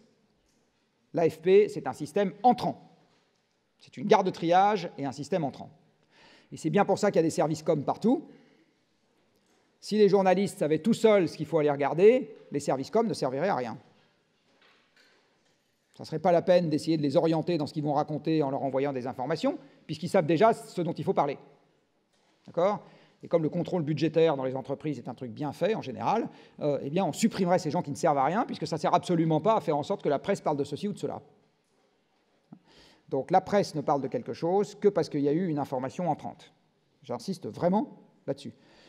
Euh, donc, du coup, euh, on ne vous parle pas des problèmes sur lesquels il n'y a pas d'information entrante. Or, qui en France s'agite en disant on a peut-être un problème déjà d'approvisionnement énergétique? À peu près personne. Il y a trois clampins dans mon genre, oui c'est ça, Mathieu Ozado qui travaille avec moi, plus moi, euh, plus trois clampins dans mon genre, je peux vous dire qu'on ne pèse rien euh, face aux gens qui s'agitent sur d'autres problèmes. Donc, euh, le... parce que peser quelque chose, ça veut dire faire l'ouverture du 20h de TF1, hein, c'est ça que ça veut dire. Hein. donc, le... ou de France 2, je ne sais pas, bégueule. donc, le, le problème amont, euh, sur l'énergie, on ne le voit pas pour deux raisons. D'abord parce qu'il n'y a pas de porteur d'intérêt, et ensuite parce qu'on est omnubilé par les prix, et donc on pense que la rareté se reflète par le prix. Et je vais vous montrer dans pas longtemps que c'est faux. On peut manquer de quelque chose, et pourtant son prix nominal n'augmente pas. Mais j'y viendrai après. Alors, je vais commencer par euh, la partie amont, c'est-à-dire est-ce qu'on va avoir de l'énergie ad vitam aeternam? Alors, il se trouve que la réponse est non, c'est assez facile à comprendre il faut de 50 à 300 millions d'années pour former des combustibles fossiles. 50 à, 50 à 400 même millions d'années. Ce qui veut dire qu'aux échelles de temps qui vous intéressent, c'est-à-dire la soirée de la fin de la semaine, non, pardon, euh, c'est-à-dire quelques siècles, eh bien, euh, on peut considérer que le stock de combustibles fossiles qu'il y a sous terre, il est donné une fois pour toutes. D'accord? On a un héritage, le Mère Nature nous a légué, cet héritage ne change pas. Il vaut une certaine quantité. On ne la connaît pas bien au départ, mais il n'y en a pas plus que ça. À partir du moment où vous tapez dans un stock de départ qui est donné une fois pour toutes, les mathématiques vous interdisent que vous puissiez avoir une production indéfiniment croissante. Vous d'accord? Sinon, ça veut dire que le stock est infini. C'est même interdit d'avoir une production indéfiniment constante, parce que sinon le stock est toujours infini. Tout ce que vous avez le droit d'avoir, c'est une production qui part de zéro à moins l'infini, qui finit à zéro à plus l'infini et qui passe par un maximum entre les deux. C'est un théorème de match, c'est même encore le démontrer. Alors ce que je vous dis, ça vaut pour le pétrole, mais ça vaut pour le gaz, ça vaut pour le minerai de cuivre, ça vaut pour le minerai euh, pour le minerai d'aluminium, ça vaut pour le tungstène, le cobalt, euh, le nickel, le zirconium, le lithium, le just name it. Hein. Ça vaut pour n'importe quelle ressource dont le stock de départ sous terre est disponible euh, en quantité donnée une fois pour toutes. Et donc pour toutes ces ressources-là, sur lesquelles notre économie est assise, vous aurez quelque chose qui s'appelle le pic. Donc le pic, ce n'est pas une théorie fumeuse, c'est un théorème de maths. Et les théorèmes, comme vous le savez, sont toujours valables dans leur domaine de validité. Il n'y a pas d'exception, sinon ce n'est pas un théorème. C'est même très facile de démontrer qu'un truc n'est pas vrai en maths, vous le savez, il suffit de montrer qu'il y a un, cas de figure où ce n'est pas vrai. Donc un théorème, c'est que c'est toujours vrai, il n'y a pas d'exception, ce n'est pas une fois vrai, une fois faux, toujours vrai. Et là, c'est pareil, aucun rêve que je peux avoir, que vous pouvez avoir, que n'importe qui peut avoir pour l'avenir, ne peut exister s'il doit violer un théorème de maths. C'est juste pas possible. Alors, en ce qui concerne le pétrole, ce pic, on s'en rapproche. Euh, en fait, on l'a déjà passé pour une partie du pétrole dans le monde. Et qu'on s'en rapproche, on peut le voir en regardant non pas la production, mais la variation de la production de pétrole sur un siècle et demi. Eh bien, vous voyez que cette variation, le pétrole augmentait de 15% par an il y a un siècle et demi, il augmentait de 10% par an avec des moyens plus sophistiqués, soit dit en passant, euh, après. Il augmentait de 5% par an il y a quelques dizaines d'années avec des moyens encore plus sophistiqués. Et aujourd'hui, avec le shale oil, il n'augmente plus que de un peu plus de 0% par an. Donc en fait, la technique, ce n'est pas un moyen d'augmenter la production plus vite, c'est une réponse au fait qu'on a des contraintes sur ce qui précède. C'est bien comme ça qu'il faut le voir. Hein. Le shale gas, c'est un truc qui est connu depuis deux siècles le premier éclairage municipal qu'il y a eu dans le monde au gaz, au dit de ville euh, a été fait, enfin au gaz naturel, pardon, a été fait avec du shale gaz euh, à Fredonia, sur la côte est des États-Unis, il y a deux siècles. Donc le shale gaz, c'est un truc qui est connu depuis très longtemps, et en fait on y revient parce que les autres types de ressources commencent à poser problème. C'est bien dans ce sens-là que ça se passe, et pas dans le sens inverse. Euh, L'Agence internationale de l'énergie, alors la presse a totalement passé ça sous silence, totalement a sorti en décembre 2018 un rapport disant, le, pour la partie conventionnelle du pétrole, c'est-à-dire ce qui n'est pas shale oil, le pétrole de Rochemer, et ce qui n'est pas les sables bitumineux du Canada, tout le reste a passé son pic en 2008. Et depuis, ça décline. Qui en a entendu parler de ce truc-là, à part les lecteurs d'Ozano? Bon. Je peux vous dire que c'est autrement plus important pour votre avenir qu'une bonne partie des choses dont vous avez entendu parler dans la presse, sinon la quasi-totalité de ce dont vous avez entendu parler dans la presse. Ça, ça veut dire que notre costume d'Ironman, il va commencer à rétrécir. C'est ça que ça veut dire. Hein. Personne n'en a parlé. Alors voilà où on est en gros euh, sur l'extraction mondiale de pétrole, euh, sachant que dans le pétrole, il y a aussi le non conventionnel, et donc ça veut dire que les pétroliers que je connais disent depuis longtemps le sommet de la production mondiale de pétrole, tout confondu, y compris avec le shale oil, etc., c'est 2020, plus ou moins 5 ans, et plus ou moins 5 millions de barils jour. Donc 2020, c'est l'année prochaine. Euh, je dis bien plus ou moins 5 ans. Ça veut dire qu'avant la fin de vos études, vraisemblablement, et très certainement, avant que vous ayez mon âge, ça c'est absolument certain, euh, eh bien, euh, vous verrez l'approvisionnement mondial, sachant que l'européen a déjà commencé à baisser, l'approvisionnement mondial en pétrole se contracter. Et à ce moment-là, vous verrez de la crise de la dette dans tous les sens. Là, c'est sûr que c'est pas besoin de. Et alors, cette quantité de pétrole qu'on extrait du sol est également un très bon indicateur avancé de l'économie. Vous avez, parce que le pétrole, c'est les transports et qu'il n'y a pas une entité économique qui fonctionne sans transport. Vous avez ici deux variations en rouge, vous avez la variation de la quantité de pétrole qui sort du sol. Donc il ne s'agit pas du prix, il s'agit de la quantité. Et en bleu, vous avez la variation du PIB par personne. Ce que vous voyez, c'est que depuis les chocs pétroliers, où on a appris à être plus efficace sur le pétrole, eh bien, la variation de la production de pétrole dans le monde, c'est l'indicateur avancé qui fonctionne le mieux de la variation du PIB par personne dans le monde. Ça marche extrêmement bien. Je dis bien que c'est un indicateur avancé parce que ce que vous pouvez voir sur ce graphique, c'est que ça marche ce truc. Je sais pas ça marche ce truc là. C'est que euh, chronologiquement, vous voyez que la variation de la courbe rouge a tendance à légèrement précéder la variation de la courbe bleue. Donc c'est pas le pétrole est un truc qui s'achète, j'ai une croissance qui vient de Mars, j'ai plus d'argent et donc j'achète plus de pétrole. C'est le pétrole est un facteur limitant de la production parce qu'il faut des transports pour produire. Et donc, si j'ai moins ou plus de pétrole, je suis capable de plus ou moins transporter, et donc je suis capable d'avoir une activité transformative, donc économique, plus ou moins importante. Hein. Je vais vous le redire encore autrement. Notre système économique étant un système de transformation, l'économiste peut lui coller des euros, mais le physicien peut lui coller des kilowattheures, ça marche aussi bien. Donc la blague que j'ai faite tout à l'heure en disant vous auriez pu payer vos carottes avec des kilowattheures, oui, oui, vous pourriez parfaitement payer vos carottes avec des kilowattheures. Vous pourriez. Et alors, pourquoi est-ce que ce n'est pas le prix qu'il faut regarder? Bah, Parce qu'il n'y a pas d'élasticité prix-volume. Voilà une élasticité. Regardez bien, c'est une élasticité. Si, si, c'est une élasticité. Je vous assure, c'est une élasticité. Si, si, c'est une élasticité. C'est quoi une élasticité? C'est, vous savez, un graphique dans lequel vous mettez le volume d'un côté et le prix de l'autre, et votre prof vous dit, s'il y en a plus, c'est moins cher, et s'il y en a moins, c'est plus cher. Oui, on est d'accord, hein, c'est bien ça que vous avez entendu. Donc une élasticité, c'est une courbe qui ressemble au trait en pointillé, là. Voilà. Alors là, je vous ai mis sur un siècle, de 1920 à aujourd'hui, la quantité de pétrole disponible sur le marché, c'est en abscisse, et le prix du pétrole par baril, c'est en ordonnée. Est-ce que vous voyez une élasticité? Parce que quiconque me répond oui a besoin d'aller chez Afflelou. Non, pardon, je n'aime pas de Donc voilà une élasticité. Alors évidemment, c'est une blague. Il n'y a pas d'élasticité. Et il n'y en a pas, non pas parce que ça me plaît, parce que vous regardez cette courbe et il n'y a pas d'élasticité. L'élasticité de long terme prix-volume sur le pétrole et sur l'énergie en général n'existe pas. Donc, ce n'est pas la peine de regarder les prix pour savoir si ça sera rare demain. Ça ne marche. Et en fait, alors je n'ai pas le temps de vous faire la théorie aujourd'hui, mais vous pouvez très simplement expliquer faut juste trois minutes et l'heure commence à tourner, euh, vous pouvez très simplement expliquer pourquoi c'est structurellement impossible que vous n'ayez pas d'élasticité. Et les deux indicateurs sont les suivants. C'est que pour avoir beaucoup de pétrole, il faut aller chercher des pétroles compliqués, donc ça fait monter le prix du baril. Sauf que si vous faites monter le prix du baril, vous découragez la demande et donc vous avez moins de demande et donc vous allez chercher moins de pétrole. Donc en fait, un pétrole qui commence à devenir contraint, son prix est oscillant. Il est ni haut ni bas, il oscille. Donc la contrainte pétrolière ne va pas rendre le prix haut ou bas, il va le rendre volatile. Et c'est en fait la seule indication que vous pouvez regarder. Vous voyez, pendant longtemps, ça a été constant, c'était cartélisé, puis là, ça commence à faire n'importe quoi, c'est volatile, et ça va devenir volatile.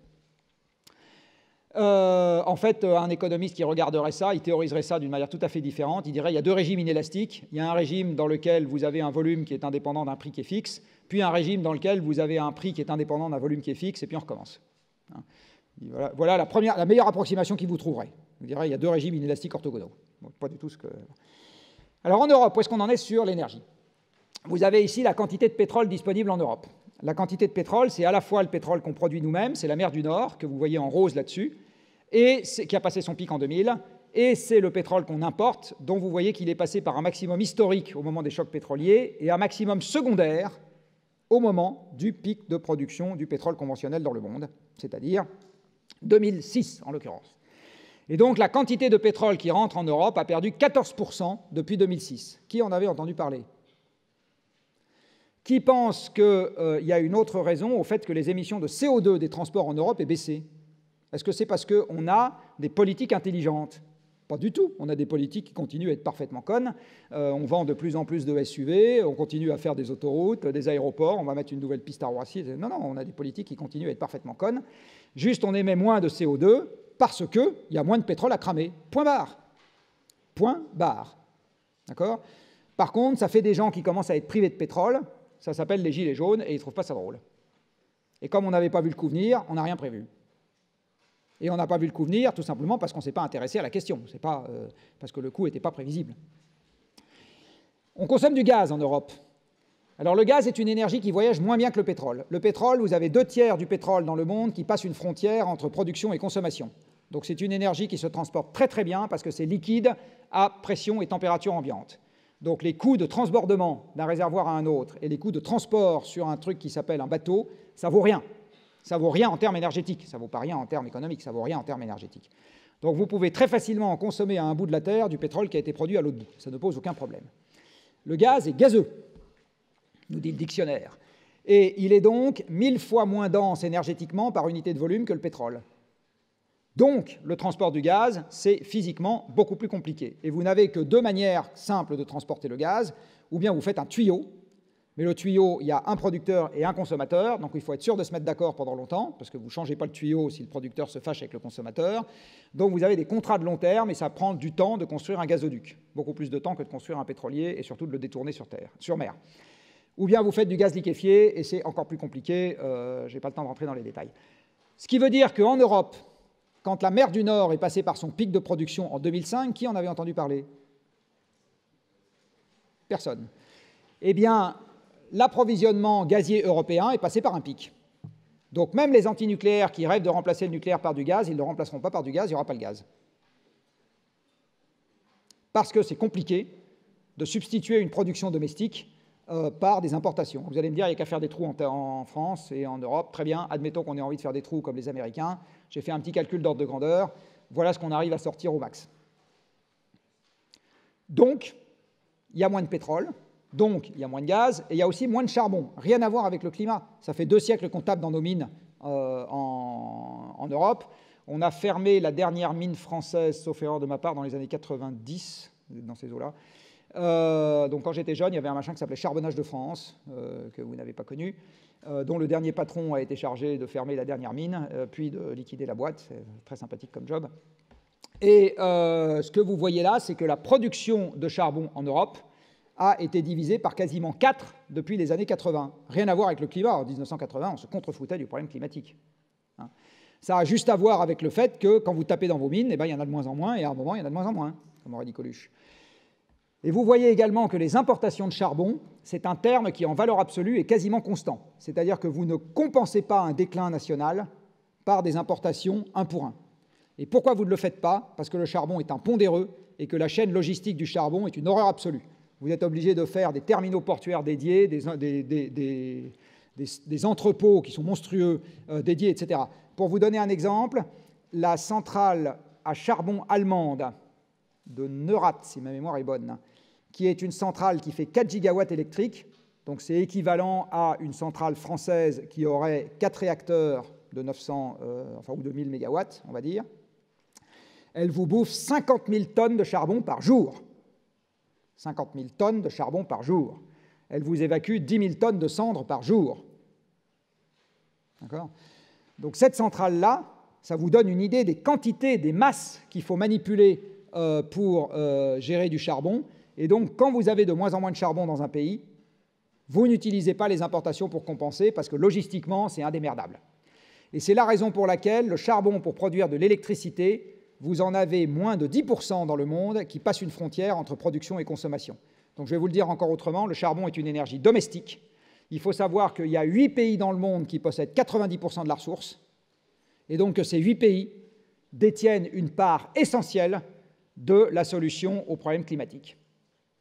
Et ces huit pays sont, euh, dans l'ordre, ça change un peu chaque année, la Chine, les États-Unis, la Russie, enfin, ce n'est pas dans l'ordre exactement, c'est les États-Unis d'abord, les premières réserves au monde, la Chine, la Russie, euh, l'Australie, le Kazakhstan, l'Afrique du Sud, euh, l'Allemagne, là je suis à 7, et l'Inde. Voilà. Ces huit pays-là tiennent une bonne partie du sort climatique de la planète entre leurs mains parce que j'insiste, le charbon, c'est chez eux que ça se passe, et ça ne sort pas de chez eux, parce que le charbon est une énergie domestique. Hein. Ce qui m'a poussé à écrire cette petite provocation il n'y a pas longtemps, qui est qu'au lieu de se gargariser de vendre des mirages euh, à l'Inde, on ferait mieux de se gargariser de leur vendre des centrales nucléaires pour remplacer leurs centrales à charbon. À mon avis, la paix dans le monde s'en porterait beaucoup mieux. Alors voilà maintenant à quoi ressemble l'approvisionnement énergétique européen par personne, là je vous l'ai mis par personne, depuis 1965.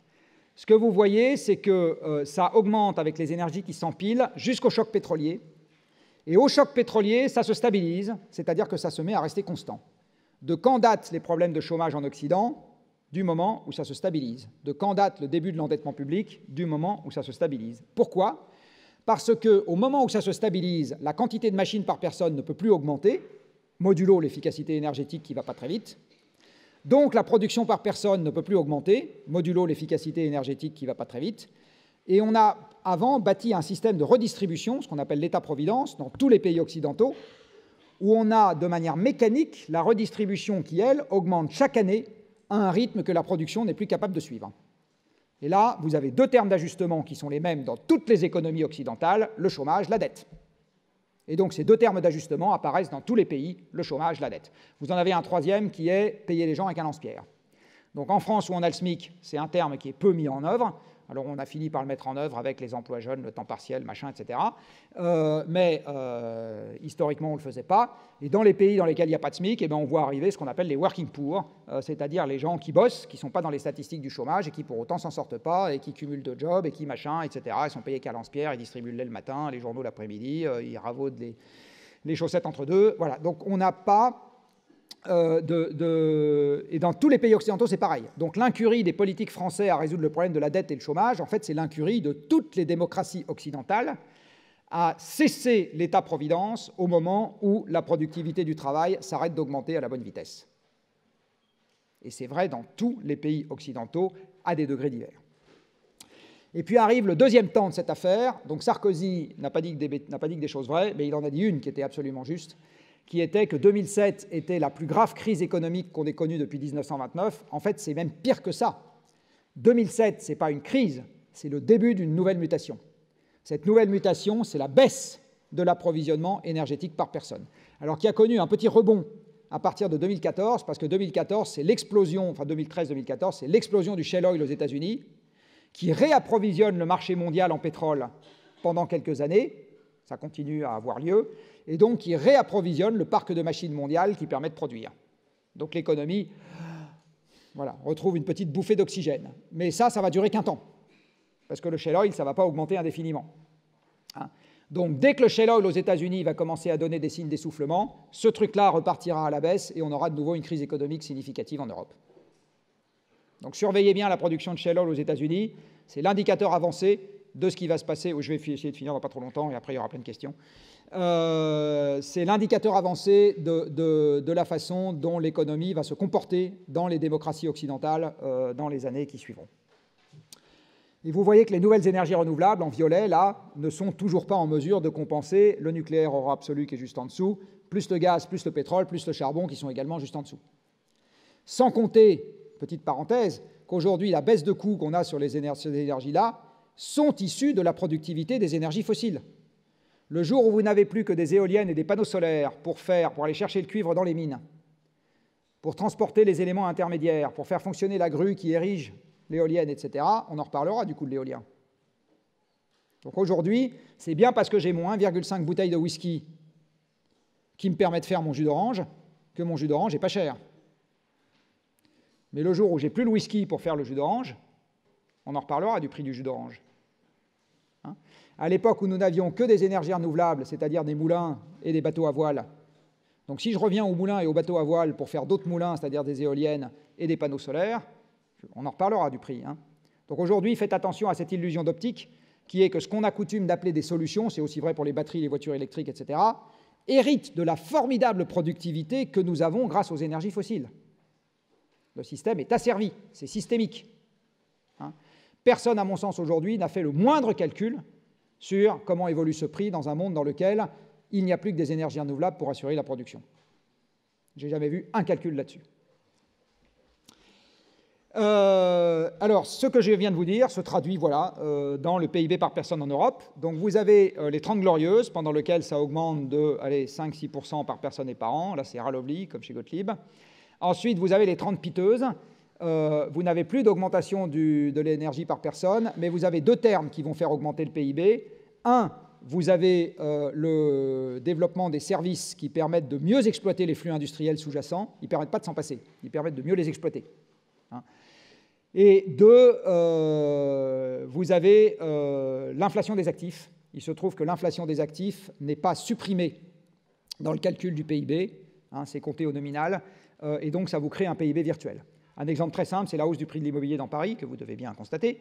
eh bien, si un mètre carré vaut deux fois plus cher aujourd'hui qu'il y a 10 ans, vous avez toujours qu'un mètre carré physiquement, mais vous avez une augmentation du PIB parce que pour l'acheter, vous devez plus vous endetter. la production de crédit est dans le PIB. Si vous l'achetez à une agence, vous avez des commissions d'agence qui augmentent, et ça, c'est dans le PIB. Et les droits de mutation que vous allez payer vont doubler, et ça, c'est aussi dans le PIB.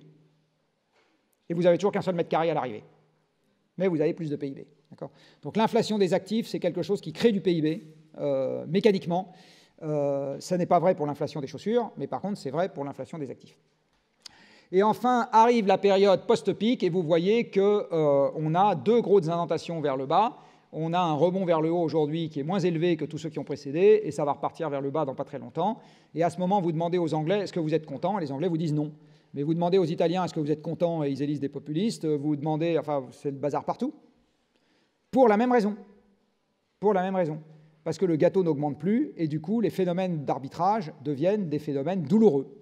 Et par exemple, si on décide qu'en Europe, on a la libre circulation des personnes et des marchandises entre des euh, gens de l'Est qui gagnent pas beaucoup et des gens de l'Ouest qui gagnent beaucoup plus, eh bien, il se passe ce qui se passe en ce moment. Les industriels vont investir à l'Est et les plombiers passent à l'Ouest. Et si vous demandez aux salariés, aux ex-plombiers de l'Ouest s'ils trouvent ça drôle, ils vous disent non. Et vous savez que dans les référendums, ça aussi c'est un truc que vous apprendrez pendant vos études, j'imagine, on répond beaucoup plus à la personne qui pose la question qu'à la question. Hein? le, grand piège du référendum, c'est celui-là. Il faut une civilisation très adulte pour être capable de répondre à la question et pas à la personne qui pose la question. Hein? Les Suisses y arrivent à peu près. Chez nous, je ne suis pas sûr que ce sera le cas. Et là-dessus, nous avons un deuxième problème. Alors non, vous allez me dire, le problème est réglé. Le problème est réglé. Depuis 2015 euh, et depuis M. Fabius qui brandit son grand marteau de commissaire-priseur à la COP 21, nous avons réglé le problème climatique. Alors voilà euh, la façon dont je vois le problème réglé. Vous avez ici la concentration en CO2 dans l'air depuis 1995, c'est-à-dire la première conférence des parties de la Convention climat. Donc vous voyez, en 1995, la Convention climat est un grand succès puisque euh, c'est la première, enfin, la COP est un grand succès, c'est la première, on a enfin une Convention climat qui s'applique et on va enfin résoudre le problème. Euh, après, on a eu euh, Copenhague qui était, Kyoto qui était un grand succès, Copenhague qui était un grand échec, Paris qui est un grand succès, et vous voyez l'évolution des points. Alors moi, je vous pose une question. Quand vous avez en physique une expérience dont vous voyez que le résultat est indépendant de la valeur d'une variable, vous en tirez comme conclusion que cette variable n'intervient pas dans le résultat de l'expérience. Donc j'en tire une conclusion qui est que ce que la presse dit sur une COP est indépendant de ce qui se passe. Ça n'a aucune espèce d'importance, ce que la presse dit sur une COP. Copenhague, j'y étais. J'y étais pendant les 15 jours. Je peux vous dire que c'est tout sauf un échec. Par rapport aux autres COP. Les 2 degrés datent de Copenhague. Hein. Ce n'est pas à Paris que les 2 degrés ont été entérinés, c'est à Copenhague. Voilà. Et c'est parce que M. Jadot et consorts sont pavanés devant les caméras en disant c'est un échec parce qu'ils étaient vexés comme des poux de ne pas avoir été associés à la décision, c'est à peu près comme ça que ça s'est passé, que la presse a retenu que c'était un échec. Mais euh, ce n'était pas du tout un échec. Donc, le... enfin, encore une fois, relativement aux autres. Après, elles sont toutes des échecs puisque ça augmente tout le temps. Euh, ce que je vais vous montrer maintenant dans les cinq minutes qui me restent, parce qu'on me fait la grosse, euh, la grosse tête, enfin les gros yeux, euh, c'est quelques éléments, je laisserai la présentation. D'abord, il faut savoir que l'effet de serre, c'est un truc qui est connu depuis deux siècles. Donc ce n'est pas de la science qui date d'hier, l'effet de serre, c'est connu depuis deux siècles.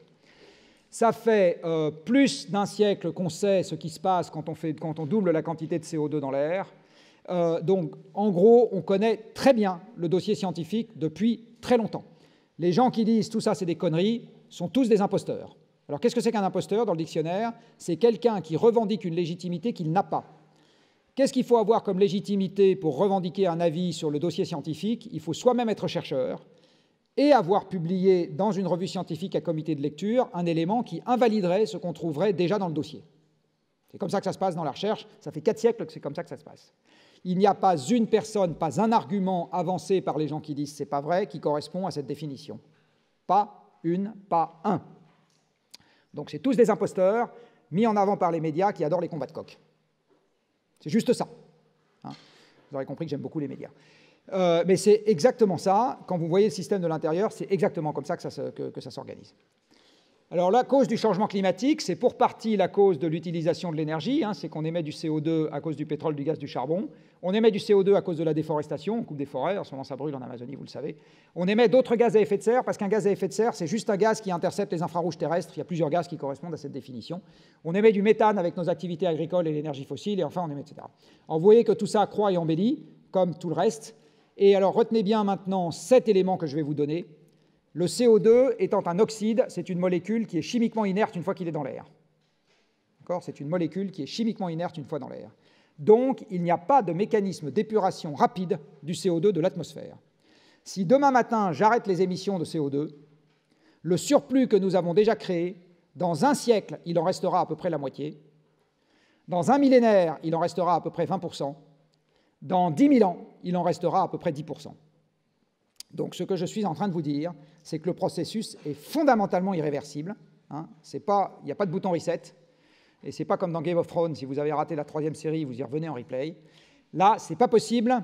Vous n'avez aucune possibilité. C'est comme le vieillissement d'un organisme. Vous n'avez aucune possibilité de revenir en arrière. Aucune. Dit autrement, c'est une expérience qu'on ne fera qu'une fois.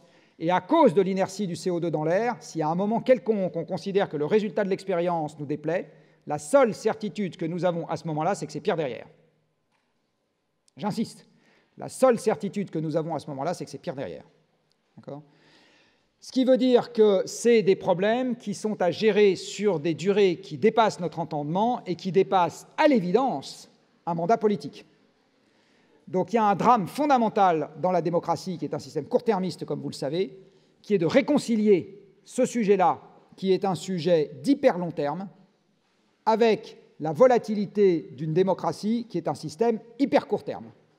Et soit dit en passant, grâce à l'abondance énergétique, ça fait des décennies qu'on raccourcit les échéances partout. On avait des sociétés patrimoniales qui regardaient quand même un peu plus loin que le bout de leur nez. On a maintenant des sociétés cotées en bourse où on s'excite parce que le cours de bourse a varié en 24 heures. Qu'est-ce qu'on s'en fout? Aucune espèce d'importance. Du reste, si on voulait régler, enfin, un des trucs à faire dans le monde économique, si on veut régler le problème du changement climatique, c'est de supprimer la cotation en continu des entreprises. Alors, euh, ça défrisera beaucoup de certains d'entre vous qui veulent aller bosser comme Kant, euh, je ne sais pas où, euh, en gagnant plein d'argent, mais c'est évident que ça fait partie des trucs à faire. très rapidement, 5 degrés de variation de la température planétaire, ce n'est pas un truc anodin. Vous avez ici à quoi ressemblent les écosystèmes européens si on ne les supprime pas pour faire autre chose aujourd'hui. Vous avez ici à quoi ressemble l'Europe il y a 10 000 ans, il y a 20 000 ans, pardon, il y a 20 000 ans, c'est-à-dire au cœur de la dernière ère glaciaire. Donc il fait beaucoup plus froid, hein, c'est ce que je disais tout à l'heure. Alors vous voyez que ça ressemble à rien de ce qu'on connaît aujourd'hui. Il n'y a pas d'Erasmus en Suède, parce qu'il n'y a pas de Suède. Euh, les Scandinaves sont sous 3 km de glace. Donc là va vite, vous oubliez. Il n'y a pas non plus d'Erasmus à Édimbourg, euh, connu pour son climat chatoyant, et ses Écossais qui le sont vraiment. Euh, et vous voyez qu'il n'y a pas non plus de manche, euh, puisque l'océan a baissé de 120 mètres. Alors pourquoi l'océan a baissé? Parce que pour faire cet énorme glacier qui a sur la Scandinavie et son grand cousin qui a sur le Canada et le Groenland et l'Antarctique qui ont augmenté de masse, il faut bien avoir pris l'eau quelque part. L'eau, vous l'avez prise dans l'océan, et donc le niveau de l'océan a baissé. Euh, vous voyez que les écosystèmes qu'on trouve en France ressemblent à ce qu'on a aujourd'hui au nord de la Sibérie, et la population humaine en France à cette époque ne fait même pas la population de la totalité des grandes écoles françaises, c'est dire. Eh bien, la différence de température que vous avez entre planétaire, hein, la différence de moyenne planétaire que vous avez entre le paysage de gauche et le paysage de droite, c'est juste 5 degrés de réchauffement. C'est juste ça, en 5000 ans. Alors, je ne vais pas passer les conséquences parce que euh, l'heure tourne, mais je vais quand même vous dire deux choses. Un, l'expérience est tellement inédite qu'il est illusoire de penser qu'on peut imaginer toutes les conséquences possibles à l'avance. C'est impossible. Donc la pensée sympathique qui consisterait à dire, comme au médecin, faites-moi l'inventaire exhaustif de tout ce que je risque avant que je commence à me remuer mes fesses, c'est une question qui n'a pas de réponse. Par contre, quand vous voyez ça, moi je vais vous en donner une, ça sera la guerre partout. C'est-à-dire que le déplacement des conditions multiséculaires dans lesquelles nous avons bâti nos civilisations ira beaucoup trop vite, au surplus dans un monde dans lequel notre capacité de réaction, c'est-à-dire l'énergie, ira en se contractant pour une partie croissante de la population, pour que tout ça se gère dans la joie et la bonne humeur. Donc le monde qui ne s'occupe pas du changement climatique, j'insiste, j'ai deux enfants qui ont votre âge, hein, donc je ne suis pas en train de dire ça juste pour me faire mousser, euh, c'est un monde conflictuel, violent, dans lequel vous pouvez oublier les promesses de croissance perpétuelle, euh, le plus pour tout le monde, la paix, et le seul problème qui est de savoir comment on fait revenir les touristes japonais à Paris. Je peux vous assurer qu'on aura d'autres chats à fouetter. Donc lutter contre le changement climatique, ce n'est pas, de mon point de vue, un truc sympathique à faire, en plus des comptes trimestriels qui sont quand même vraiment l'urgence du moment. C'est vraiment quelque chose qui, si on ne le met pas au centre, et en fait lutter contre la contraction de l'environnement au sens large, c'est-à-dire le fait qu'il faut faire tenir 8 milliards de bons hommes sur une planète qui fait toujours 13 000 km de diamètre aujourd'hui, comme elle le faisait il y a trois siècles. Hein. Ça n'a pas changé, ça. Et avant qu'on vous envoie tous sur Mars en prenant un billet chez Elon Musk, il va se passer du temps. Hein. je vais vous assurer que son fournisseur de cocaïne est plus fiable que ses plans pour déplacer l'humanité. Euh, donc, le, Oui, oui, il est connu pour ça. Euh, donc, le donc cette affaire de changement climatique, j'insiste, et d'une manière générale, faire revenir la contrainte physique dans les plans pour l'avenir, c'est ça le message essentiel que je veux vous délivrer, ce n'est pas une coquetterie, c'est si on ne fait pas ça, on est sûr d'avoir n'importe quoi, sauf ce qu'on s'imagine pour l'avenir. Voilà, je vais m'arrêter là parce que l'heure tourne.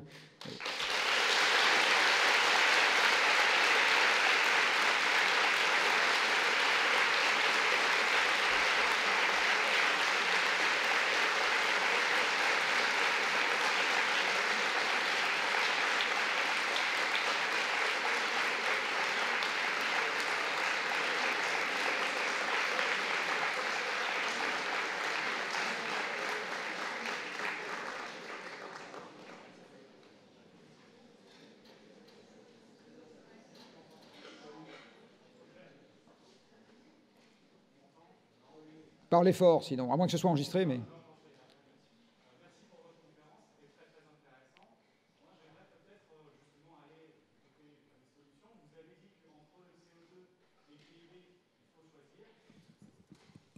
Est-ce que ça fonctionne maintenant? Très bien. Euh, la question que je me pose, c'est est-ce que dans un scénario de transition, euh, il est possible aussi euh, de chercher de meilleures conditions de vie en allant du côté de la sobriété, de questionner le besoin, et puis ensuite, de l'efficacité énergétique. Est-ce qu'on a une sorte de salut de ce côté-là? Merci. Alors, en fait, il faut renverser la question, ou plus exactement, il faut renverser les conditions aux limites. Alors, je vais vous donner un premier exemple et ensuite j'élargirai. Aujourd'hui, dans la recherche économique, macroéconomique, la seule question que les chercheurs se posent, c'est comment faire revenir la croissance. Je pense que ça vaudrait le coup qu'avec 5% de nos impôts, puisque la recherche est essentiellement payée par nos impôts, euh, il y a une petite partie des gens qui se disent, admettons qu'elles ne reviennent pas, c'est quoi la meilleure optimisation du système? Alors ça, c'est une partie de la réponse à votre question. C'est-à-dire, en fait, on renverse la question. On dit, on admet qu'on ne l'aura pas, même pas on la recherche, on ne l'aura pas. C'est quoi la meilleure manière de s'organiser pour que les gens soient le plus heureux possible? C'est ce que les ingénieurs appellent une optimisation sous contrainte. Vous collez une contrainte. Et oui, moi je pense qu'il faut. Alors, le problème, c'est que quand on vous a dit pendant toute votre vie, plus vous courez vite et mieux vous vous portez, c'est indicible de vous dire maintenant on va vous expliquer que moins vous courez vite et mieux vous vous portez. C'est très compliqué euh, de, passer à ça. Donc moi, à mon âge, par exemple, je cours de moins en moins vite avec les ans. Donc j'essaye de m'occuper d'autres choses en me disant c'est pas très grave que je cours de moins en moins vite. Il y a un autre truc là sur lequel je suis finalement assez content de ce qui se passe. Euh, et donc euh, tout bien pesé, je, m'en fous. et c'est exactement ce qu'il faut faire. C'est-à-dire qu'il faut arrêter de se focaliser sur le PIB. On peut continuer à le compter. De toute façon, il est indispensable. C'est la base fiscale, etc. Il faut juste arrêter d'incarner tout le bonheur de l'humanité là-dedans je ne suis pas sûr que ça vaille le coup de mesurer le bonheur autrement qu'en demandant aux gens est-ce que vous êtes content? Je suis assez trivial de ce point de vue. Il euh, faut avoir des proxys. Par contre, ce dont je suis sûr, c'est qu'il faut être capable de proposer des projets qui n'ont pas besoin de la croissance pour que les gens se disent tiens, ouais, quand même, j'ai envie. Alors, je vais reprendre les vacances, puisque vous étiez en vacances il n'y a pas longtemps. Un certain nombre d'entre vous, pendant les vacances, ont eu des conditions matérielles d'existence plutôt moins sympathiques que celles que vous avez pendant l'année. Par exemple, si vous êtes parti faire du camping, eh bien, vous êtes moins bien logé que dans un appartement. Euh, il y a les moustiques qui entrent, euh, il y a la lumière du jour le matin, euh, vous entendez les voisins, le voisin en train de péter, enfin bon, bref, c'est moins bien. pourtant, il y a des tas de gens qui reviennent ravis de leurs vacances en camping. Donc ça veut dire qu'il y a moyen de moyenner, comme disait l'autre, et qu'il y a des cas de figure dans lesquels on peut très bien vous dire je te donne un peu moins d'ici et un peu plus de là. Et à ce moment, il faut entraîner les gens sur des projets où on a réfléchi à l'avance sur qu'est-ce qu'on peut proposer où il y a moins de PIB mais plus d'autres choses, donc les gens accepteront. Et on organise la vente, entre guillemets, sur le plus d'autres choses, en disant et je vais vous aider accessoirement à vous organiser avec moins de machin. je vais vous donner un exemple. Si vous diminuez les revenus des gens, vous devez corrélativement diminuer les loyers. Comment est-ce qu'on fait pour diminuer les loyers? Il faut faire dégonfler les grandes villes. Donc vous voyez qu'un euh, des moyens de s'accommoder d'une baisse du PIB, c'est d'arrêter de concentrer tout le développement dans Paris et quelques métropoles. Il faut faire l'exact inverse à partir de maintenant. C'est la seule condition. À la campagne, un certain nombre de ressources peuvent être quasi gratuites. Commencez par l'air que vous respirez, alors que les Tokyoïtes, ils ont besoin d'avoir un distributeur à oxygène maintenant. Euh, donc, euh, vous, êtes capable du coup de vous accommoder d'une baisse de vos revenus. Moi, je connais des gens qui ont fait ce choix de manière délibérée. J'ai pas l'impression qu'ils soient plus malheureux. Voilà. Donc c'est plutôt comme ça. Donc j'ai envie de dire, c'est aux corps intermédiaires qui forgent la politique et qui forgent les projets, qu'ils soient dans la politique ou chez les décideurs économiques ou euh, chez les académiques, etc. De penser des plans qui s'accommodent d'une baisse de la croissance que vous ne vendrez jamais en tant que telle, parce que ça c'est inaudible. Vous allez y passer 20 ans avant qu'on... Or on a 30 ans pour résoudre notre problème, donc euh, vous n'avez pas le temps. Mais c'est bien comme ça qu'il faut s'y prendre. Il faut, il faut s'y prendre en proposant des trucs qui n'ont plus besoin de la croissance.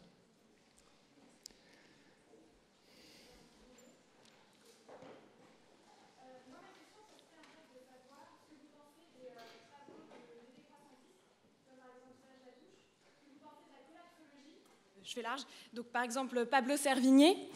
Euh, ce que vous pensez aussi de la réactualisation pardon, du rapport de Rome, qui a été fait en 2012, si je ne me trompe pas. Et en fait, euh, de manière générale, ma question, c'est de savoir quels sont vos conseils euh, de lecture pour que bah, on continue à travailler sur la question en cherchant les solutions et en cherchant à, vraiment comprendre comment ça se passe, comment ça va se passer pour bah, sensibiliser les gens, en fait. D'accord. Alors, qu'est-ce que je pense de la décroissance? Je viens de répondre, en fait. Ce que je pense de Pablo Servigne, c'est que c'est un beau gosse. C'est pardon? C'est un beau gosse. D'accord. Euh, non, il, il, dit des choses intéressantes. Euh, il n'est pas dans le registre de la solution, Pablo. Mm. Euh, mais ce qui est intéressant, c'est qu'il propose des angles sur la façon de. Voilà. Ce que je pense de la collapsologie, c'est de se dire tout est foutu, ça ne mène nulle part. Par contre, de se dire je vais essayer d'apprécier la hauteur de la haie à franchir, ça, ça mène quelque part. Donc ça m'amène à la dernière question qui est qu'est-ce qu'on peut lire pour continuer à se documenter? Alors, ce que vous appelez le rapport du Club de Rome, en l'occurrence. C'est le condensé d'un travail de dynamique des systèmes euh, que moi j'ai lu il y a quelques années, euh, qui s'appelle The Limits to Growth, donc, euh, dont je vous conseille ardemment la lecture, parce que c'est un traité magistral sur la dynamique des systèmes et qui théorise la façon dont l'économie physique se comporte. Hein. Et ça a été fait par une bande de chercheurs du MIT, dont l'un est encore vivant, Dennis Meadows. J'ai même eu l'immense honneur de préfacer le, le, 30 Year Update, qui est sorti en France il y a quelques années, effectivement, euh, donc j'ai croisé Grand Bonhomme à cette occasion. Et ça explique justement pourquoi l'économie ne peut pas croître indéfiniment. Euh, voilà. Donc ça, c'est une lecture sur comment se présente le problème. Après, la lecture sur comment s'attaquer au problème, celle-là, j'ai envie de dire, elle est, elle est compliquée. Euh, je peux vous proposer une lecture d'entrée. Alors, ce n'est pas une religion, mais c'est un travail qu'on a fait au Chic Project. on a fait avant les élections présidentielles, et du reste, il y a un certain Emmanuel Macron qui nous a dit que notre travail était formidable. Mais bon, certains d'entre vous iront peut-être bosser dans les cabinets ministériels où ils répondront vos idées sont formidables à tous les gens qui écrivent. Hein. donc ça, fait partie des jobs qu'on trouve dans ce genre d'endroit. Euh, ça, ça veut dire que vous n'entendrez plus jamais parler de moi, je vous précise. Euh, donc le, plan qu'on avait proposé avant les dernières élections s'appelait euh, Decarbonize Europe. Et donc le site internet qui va avec, c'est Decarbonize Europe, tout attaché, avec un Z évidemment, puisque c'est en anglais, et, avec un seul E au milieu, hein, .org. Et vous verrez, il y a neuf propositions qui sont en fait des propositions de, macro-planning par filière. Alors là, je vais donner un, ton très optimiste à ce que je vais dire. Nous avons la chance en France d'être le seul pays communiste d'Europe de l'Ouest. Nous sommes le seul pays communiste d'Europe de l'Ouest. On veut que tout le monde soit égal, on veut que tout le monde ait la même chose, on est égalitaire. Nous sommes le seul pays communiste d'Europe de l'Ouest. Donc on s'est un peu oublié à cause des économistes de Boston dans l'économie de marché, mais c'est une connerie, parce qu'on a perdu ce qui faisait notre force. Et il se trouve que le problème de long terme que j'ai évoqué demande une réponse de long terme, et c'est un truc qui s'appelle la planification. Or, les Français sont très très bons à ce jeu-là. Du reste, on a été des grands exportateurs de planification. On sait planifier des grands réseaux ferrés qui marchent bien. Il n'y a que les Français pour ne pas être contents de la SNCF. Hein. Allez voir à l'étranger, vous allez voir. Vous allez comprendre votre douleur. Moi, à chaque fois que je prends le train en Allemagne, il est en retard. Euh, vous avez une très grande planification qui s'est faite sur les réseaux électriques. Il n'y a que les Français pour ne pas être contents de leur réseau électrique. À nouveau, allez voir à l'étranger, vous allez comprendre. Allez demander aux Américains, tiens. Euh, vous avez, euh, en ce qui concerne l'eau potable, en ce qui concerne les réseaux de transport, etc., les Français ont été historiquement quasiment les meilleurs au monde. Et les plus proches de nous, c'est les Chinois. Ce pas du tout les Américains, c'est les Chinois. Il se trouve que le problème là demande une réponse à large échelle. Donc on a un avantage concurrentiel, compétitif, historique qui est de savoir bien penser les solutions à large échelle. Donc il y, a, deux manières d'approcher les solutions. Il y a, dans son travail, savoir penser, planifier et mettre en œuvre derrière des solutions intelligentes à large échelle, mais ça suppose d'avoir bien compris le problème, sinon on tape à côté. Et dans son action quotidienne, avoir compris quels étaient les actes reproductibles, parce qu'il y en a qui ne le sont pas. C'est-à-dire vous occupez juste une niche et puis après c'est tant, pis pour les autres et tant mieux pour vous. Euh, avoir compris où étaient les actes reproductibles qui permettent d'aller dans la bonne direction avec toutes leurs contreparties. Parce que je vais vous donner un exemple. Si on se met à la sobriété, ça veut dire qu'il y a moins de gens qui travaillent pour produire ce que vous allez acheter. La question, c'est qu'est-ce qu'on fait d'eux? Donc, militer pour la sobriété sans militer pour qu'est-ce qu'on fait des gens qui travaillent dans la filière dont on a moins besoin, c'est avoir fait le job à moitié. Hein. Donc, il faut aussi s'intéresser à Et là, un bon, point de départ euh, pour les actions personnelles, euh, c'est euh, de regarder ce que vaut son empreinte carbone à soi. Donc, il y a des calculateurs, il y a un calculateur d'avenir climatique, par exemple, qui est disponible. Carbone 4, on est en train d'en mettre un autre au point. Euh, et euh, à ce moment, vous comprenez où sont les grandes actions. Alors, je peux vous en donner quelques-unes. Il faut comprendre le poids du numérique euh, dans ce qu'on consomme aujourd'hui. Donc, par exemple, ce qu'on peut faire d'utile, c'est acheter le moins possible d'ordinateurs et de smartphones, les plus petits possibles et le moins souvent possible. Voilà. Si vous avez un abonnement à Netflix, résiliez-le. Netflix occupe à lui seul 20% de la bande passante d'Internet dans le monde. Euh, donc 20% de la fabrication des composants de réseau, euh, des antennes, euh, des serveurs, etc., de tout ça et de l'entretien de tout ça, à lui tout seul. Hein. eh oui, voilà. Donc il faut, il faut se documenter sur d'où vient le problème et ensuite, voilà, dans l'alimentation, c'est de la viande rouge essentiellement. Dans les transports, si vous prenez l'avion, arrêtez de prendre l'avion. donc ça va être compliqué pour les Erasmus, mais c'est pas grave. Si vous y allez pour six mois, prenez le train ou le bateau. Euh, etc. Donc, voilà, donc il, faut, comprendre d'où vient le problème pour, euh, pour avancer. Alors les lectures sur d'où vient le problème, euh, elles sont un peu disparates malheureusement. Il y a pas de... Aujourd'hui, on est un peu obligé d'aller à la pêche. mais, mais il, faut, il, faut, bien comprendre, et, et, derrière, comme vous êtes des gens intelligents dans cette enceinte, puisque vous avez sélectionné pour ça, une fois que vous avez compris d'où vient le problème, vous comprendrez assez naturellement autour de quoi tourne la solution. N'allez pas pêcher la définition du problème dans la presse, c'est le seul conseil que je vous donne. Merci. Bonjour. Euh, je voudrais commencer par un petit, une petite remarque sur euh, mes camarades Sciences Piste qui s'intéresseraient après au niveau de la production des gaz de schiste. C'est qu'après avoir connu une très belle croissance euh, dans l'année qui vient, elle a commencé à sérieusement atteindre un plafond dans les derniers mois, même si les mises à jour des derniers mois vont permettre de savoir si on a atteint vraiment un pic au niveau des, du gaz de schiste. Mais en tout cas, ça serait peut-être pas trop pour trop longtemps. Ma question est pourquoi est-ce qu'on entend aussi peu parler du solaire thermodynamique? C'est-à-dire pas du photovoltaïque dans lequel on a des panneaux directement, mais euh, de la concentration des rayons sur un liquide chauffant. J'en entends jamais parler dans la presse. Alors on n'entend pas parler dans la presse pour deux raisons. La première, c'est que la France n'est pas un pays assez insolé pour que ce soit quelque chose de très intéressant chez nous. Il y a eu une expérience historique à Odeio, euh, il y a longtemps dans les Pyrénées, c'est surtout un procédé qui est intéressant euh, pour des pays bien insolés, mais vous avez des projets dont on entend parler dans d'autres presses, dans d'autres pays. Par exemple, au Maroc, vous avez un projet de centrale thermodynamique qui porte le nom de la princesse marocaine, Nour, euh, dont la presse marocaine parle tout à fait. Donc ça dépend de quelle presse on parle. Euh, en France, vous n'en entendez pas parler parce qu'il n'y a pas de projet et pas de porteur d'intérêt. Voilà. Bonjour. Alors, je voudrais savoir, est-ce que vous pensez qu'on peut faire face aux au paradoxe qui est qu'on vit dans un système compétitif globalisé, qui fait que le premier pays ou celui qui décide de volontairement décroître ou euh, baisser son emprise, sur le monde euh, serait condamné à une chute. Est-ce que, euh, que vous pensez que c'est possible de faire face à ça? Est-ce que vous pensez que c'est possible aussi de la planification est réaliste? Parce qu'il y, a beaucoup d'exemples qui montrent que finalement le système mondial est tellement complexe que même une planification a très peu souvent les, effets escomptés. Et est-ce que vous, si vous êtes au courant peut-être des, travaux de Theodore Kaczynski, est-ce que vous pensez comme lui qu'une révolution qui serait dirigée contre la technologie pourrait éventuellement nous éviter euh, une issue catastrophique, euh, c'est-à-dire euh, aller irrémédiablement, dû à ce système compétitif généralisé, vers une destruction totale des écosystèmes, donc de la vie humaine et non humaine Alors, la réponse à la dernière question est directement non. Vous ne pouvez pas faire une révolution contre le fait que les hommes aiment chercher. or, ce qu'on a coutume d'appeler les progrès technologiques, c'est juste le reflet du fait que les gens aiment chercher. Euh, il y a un philosophe, je ne sais plus lequel, je pas Hans Jonas, qui a dit tout ce que nous pouvons, nous le ferons. Et en fait, c'est une manière de dire euh, on est constamment en train de se demander ce qu'on pourrait faire d'autre que ce qu'on fait déjà. on, est comme, si on est câblé comme ça, donc ça, vous empêcherez pas. Par contre, ce qu'on peut empêcher, c'est que tout développement technologique, quel qu'il soit, soit fait d'abord et qu'on se pose ensuite la question de savoir si c'était une bonne idée. Donc c'est-à-dire que vous pouvez encadrer le truc. Et la seule manière d'encadrer les recherches, c'est par l'éthique et la morale. Il n'y a pas deux autres manières. Ce qui veut dire que les problèmes que je viens d'évoquer, et c'est un, des fondateurs de Paris Dauphine euh, qui m'a dit ça un jour, il s'appelle Ivar Ekland, qui est un Norvégien, euh, qui a été un des présidents de l'université, qui est un mathématicien euh, norvégien brillant, et qui a dit jamais nous ne résoudrons le donc ça va rebondir sur votre première question, jamais nous ne résoudrons le problème du changement climatique en en faisant un problème économique. Il faut que ça devienne un problème éthique.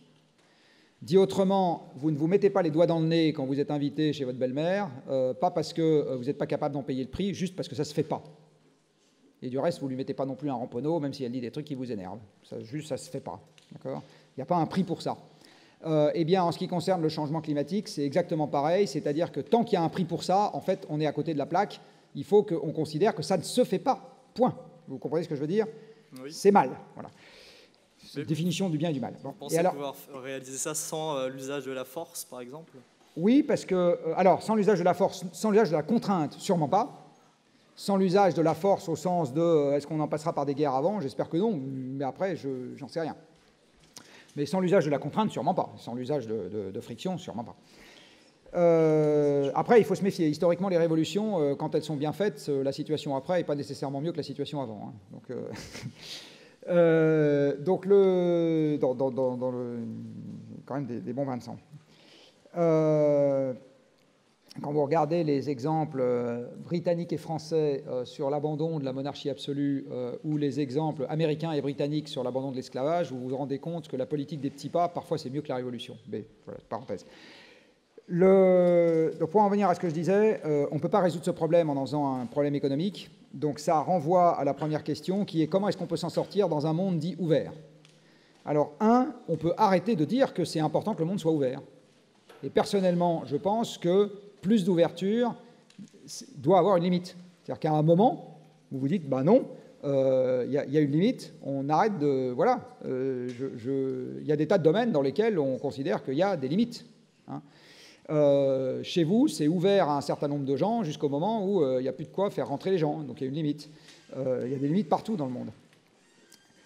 Aujourd'hui, on est sur l'idée stupide venue de modèles économiques stupides qui disent plus c'est ouvert et mieux on va se porter. En fait, non.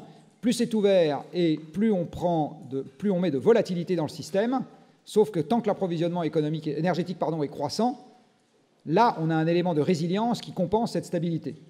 Partir du moment où c'est ouvert sans énergie, alors là, je peux vous dire, ça, ça va le euh, sévère. Donc, c'est évident qu'il faut euh, freiner aujourd'hui euh, cette affaire-là. la construction européenne n'aurait jamais dû se faire avec une monnaie unique sans être capable de contrebalancer ce qui n'est plus possible, c'est-à-dire la dévaluation, avec des transferts sociaux. Donc on aurait dû dire aux Allemands, on veut bien de l'euro, mais vous payez pour les Grecs si jamais ils ont un problème. le, donc il faut vraiment mettre aujourd'hui des barrières au libre-échangisme tel qu'il est euh, conçu. Maintenant, ça n'empêche pas la France de faire des choses de manière unilatérale dans un certain nombre de domaines. Je vais vous donner deux exemples. On peut très bien aujourd'hui décider en France, nous autres Français, qu'on va s'occuper sérieusement de notre urbanisme, c'est-à-dire déconcentrer les grandes villes, rénover les bâtiments qui doivent survivre, pour en faire des bâtiments adaptés à l'énergie et au climat de demain. Je n'ai pas besoin de savoir ce que vont faire les Chinois pour ça. Et j'ai d'autant moins besoin de savoir ce que vont faire les Chinois pour ça, que de toute façon, comme je vous l'ai montré tout à l'heure, on va progressivement, sur la durée de vie qui vous reste, manquer de pétrole, de gaz et des autres énergies en Europe. les, les ENR ne compenseront pas ça. Donc de toute façon, on va avoir un problème pour l'énergie qui alimente le système, et donc il y a des mesures qu'on a intérêt à prendre, parce qu'il faut que le système fonctionne avec moins d'énergie. Donc ça, voilà un premier exemple. Et je me contrefous de savoir ce que fait Trump euh, pour prendre cette décision-là. J'ai une deuxième décision que je peux prendre en France. Il se trouve qu'un tiers des camions qui circulent dans ce pays transportent un truc qui se mange. Un tiers. Donc la dépendance de votre alimentation au pétrole est absolument massive, parce que si je supprime les camions, vous crevez de faim.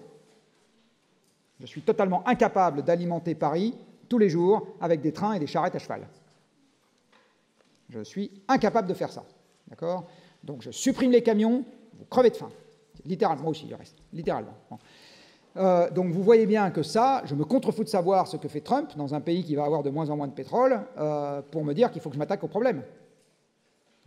Donc vous avez un certain nombre. Euh, donc en fait, il faut faire le tri. Il y a ce pourquoi je ne suis pas capable d'agir seul dans mon coin. Il y a des sujets qui sont de cette nature. Mais il y a un milliard de sujets pour lesquels je me contrefous de savoir ce que vont faire mes voisins, parce que de toute façon, moi j'ai un problème, et à la limite, plus vite ils tapent dans les stocks de pétrole restants, et plus vite moi j'aurai un problème. Et le dernier truc que je vais dire, c'est que l'homme est un animal mimétique. Vous avez, j'ai été élevé par mes parents par mimétisme. C'est-à-dire qu'une partie des trucs, ils me l'ont dit, puis une partie des trucs, ils l'ont juste fait devant moi, et j'ai fait pareil. Par exemple, j'ai appris à parler de cette manière. Je n'ai pas été à l'école pour apprendre à parler, j'ai entendu mes parents parler, puis j'ai fait la même chose. Euh, eh bien, euh, je ne crois pas une seule seconde, je ne crois pas une seule seconde au fait que si les Français commencent à faire des trucs intelligents, et soit dit en passant, on ne sera pas les seuls, même si on est les plus intelligents au monde, euh, à faire des trucs intelligents, je ne crois pas une seule seconde que les autres ne vont pas, en faire, ne vont pas faire pareil à un moment. J'y crois pas une seconde. Donc, on a imiter les Américains pour tout un tas de trucs cons, je vois vraiment pas pourquoi le reste du monde ne pourrait pas imiter les gens qui font des trucs intelligents. Je ne vois vraiment pas. Donc, donc l'argument qui consiste à dire on va être les seuls à s'agiter dans notre coin, j'y crois pas une seconde. Parce que la nature humaine est une nature mimétique, voire moutonnière dans un certain nombre de cas de figure. C'est bien pour ça qu'il y a des effets de mode. Bonjour, euh, merci pour cette euh, conférence déjà. Vous avez dit qu'il faut choisir entre CO2 et euh, PIB, ça veut quand même dire qu'il n'y a pas d'autre alternative que l'énergie fossile, en gros. Est-ce qu'on ne pourrait pas trouver une alternative? Ça dépend du résultat de la question pour vous. si vous choisissez le PIB, à court terme, oui. Je vous pose la question, je ne sais pas du tout. Est-ce qu'on ne pourrait pas trouver une alternative dans le nucléaire, pas forcément dans la fission, mais dans la fusion nucléaire? Alors, la réponse est non, malheureusement. Euh, en fait, il y a une alternative dans la fission et il n'y a pas d'alternative dans la fusion. Alors, je vais vous dire pourquoi. Euh, la fusion, donc vous avez deux manières euh, d'exploiter l'énergie nucléaire, euh, et c'est lié au fait que l'énergie de liaison entre les nucléons dans un noyau passe par un maximum aux alentours du noyau du fer. Donc quand vous avez des atomes qui sont plus petits que le fer, en les regroupant, vous arrivez à récupérer de l'énergie. Quand vous avez des noyaux qui sont plus gros que le fer, ce qui est le cas de l'uranium, en les cassant, vous arrivez à récupérer de l'énergie. Dans le deuxième cas, ça s'appelle de la fission. Dans le premier cas, ça s'appelle de la fusion. Alors la fusion, c'est une énergie qu'on connaît très bien, parce que c'est avec ça que le Soleil fonctionne, et c'est comme ça que la première génération d'étoiles a, par alchimie, fait tous les éléments du tableau de Mendeleïev. Ils ont tous été faits à partir de noyaux d'hydrogène, c'est-à-dire de protons dans les premières générations d'étoiles. Alors dans une étoile, ça marche très bien. Malheureusement, pour reproduire ces conditions-là euh, sur Terre, c'est compliqué, parce que le plasma dans une étoile, la matière est dans un état particulier dans, dans une étoile où les électrons et les noyaux ne sont plus associés, ils se baladent chacun de leur côté, et ça s'appelle un plasma. Et pour avoir un plasma, vous devez porter la matière à quelques millions de degrés.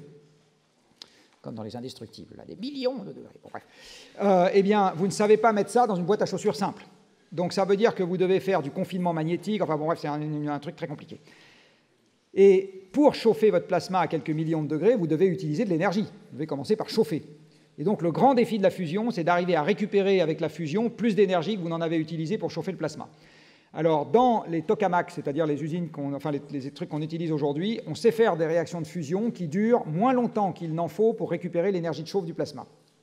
Dans ITER, le défi, c'est de faire plus longtemps qu'il n'en faut pour récupérer l'énergie de chauffe du plasma, mais quand même pas des heures et des heures. Or, une centrale électrique, aujourd'hui, elle doit être capable de fonctionner 5000 heures sans s'arrêter. Vous ne dites pas, je vais faire un pitch de deux minutes, pendant lequel les gens vont avoir de l'électricité, je m'arrête trois heures pour refaire les conditions de l'expérience, puis je refais un pitch de deux minutes, etc. Donc ITER, qui va faire juste un peu plus, va, avoir son premier placement en 2025. Après, il faut le faire fonctionner 10 ans pour avoir un retour d'expérience, 2035. Ensuite, il faut se gratter la tête pendant 5 ans pour savoir ce qu'on fait derrière, 2040. Ensuite, on met en construction la génération d'après qui sera peut-être capable de fonctionner quelques milliers d'heures. C'est terminé en 2055 ou 2060, puis on le fait fonctionner 10 ans, 2070. Donc avec un peu de chance, en 2085, où vous serez mort, eh bien, euh, si, si, n'en déplaise à Laurent Alexandre, vous serez mort, eh bien, euh, nous aurons peut-être la tête de série de quelque chose qui pourrait nous aider à régler un problème. C'est la règle de 3 que j'ai passée dans ma démonstration, qu'il faut avoir réglé dans les 35 ans qui viennent. C'est-à-dire que pour tenir les 2 degrés de l'accord de Paris, il faut que les émissions planétaires arrivent à zéro d'ici 2060. Zéro.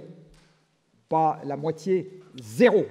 Plus un gramme de CO2 émis dans l'atmosphère. Plus une bagnole à essence, plus une fabrication de batteries, soit dit en passant, parce que c'est de la métallurgie qui émet du CO2, plus rien. Zéro. Donc on est totalement hors course avec la fusion, ce qui est une autre manière de dire que le budget d'ITER est totalement inutile euh, pour le problème dont je vous parle. Par contre, la fission, aujourd'hui on l'a, ça marche. Et euh, quand vous regardez, alors je n'ai pas le temps de vous faire le détail aujourd'hui, mais j'ai quelques lectures sur mon site.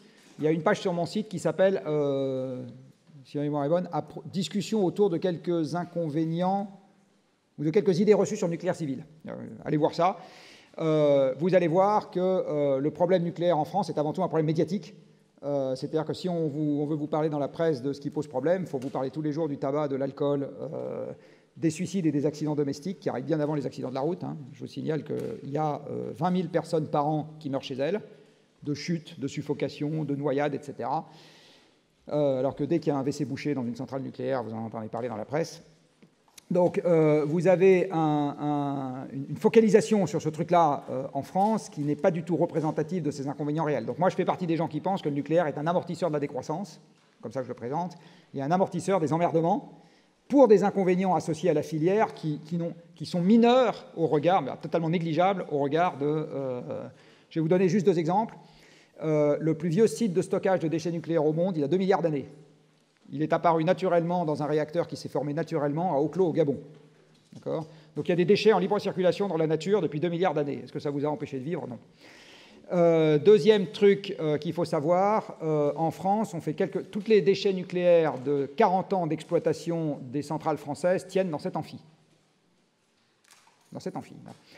Euh, nous répandons en France chaque année dans la nature 100 000 tonnes de phytosanitaires qui sont aussi dangereux en termes de toxicité que les déchets nucléaires, dont nous faisons quelques centaines de tonnes par an qu'on met dans une boîte. Les phytosanitaires, 50 à 100 000 tonnes par an dispersées dans la nature. Voilà deux, exemples. Je vous assure que, enfin, ma conviction, alors j'ai mis des années à me la forger, hein. moi je n'ai jamais travaillé dans cette filière-là, euh, mais, euh, et je me suis intéressé au changement climatique bien avant de m'intéresser à l'énergie. Euh, mais c'est des inconvénients qui sont mineurs. Donc c'est une manière de dire que de développer la filière aussi vite que possible fait partie des amortisseurs du grand saut dans le vide qu'on est en train d'entamer. Voilà, c'est ça mon... Ça mon le, nucléaire qui demande à être développé pour qu'on puisse en faire quelque chose de pas ridicule sur plus de 50 ans, parce que la filière actuelle, on est plutôt malheureusement limité par l'uranium 235, donc ça ne sera jamais majeur, c'est la, la, génération d'après, ce qu'on appelle la génération 4, euh, qui exploite soit l'uranium 238, soit le thorium, euh, et le budget d'ITER, on aurait été beaucoup mieux inspiré en France, et plus exactement en Europe, de le mettre sur un programme fast-track sur la génération 4. Qui n'évitera pas la sobriété, qui n'évitera pas la récession, qui n'évitera pas toutes les économies d'énergie, etc., mais qui contribuera à alléger de manière plus ou moins importante l'effort qu'on devra faire sur les autres plans.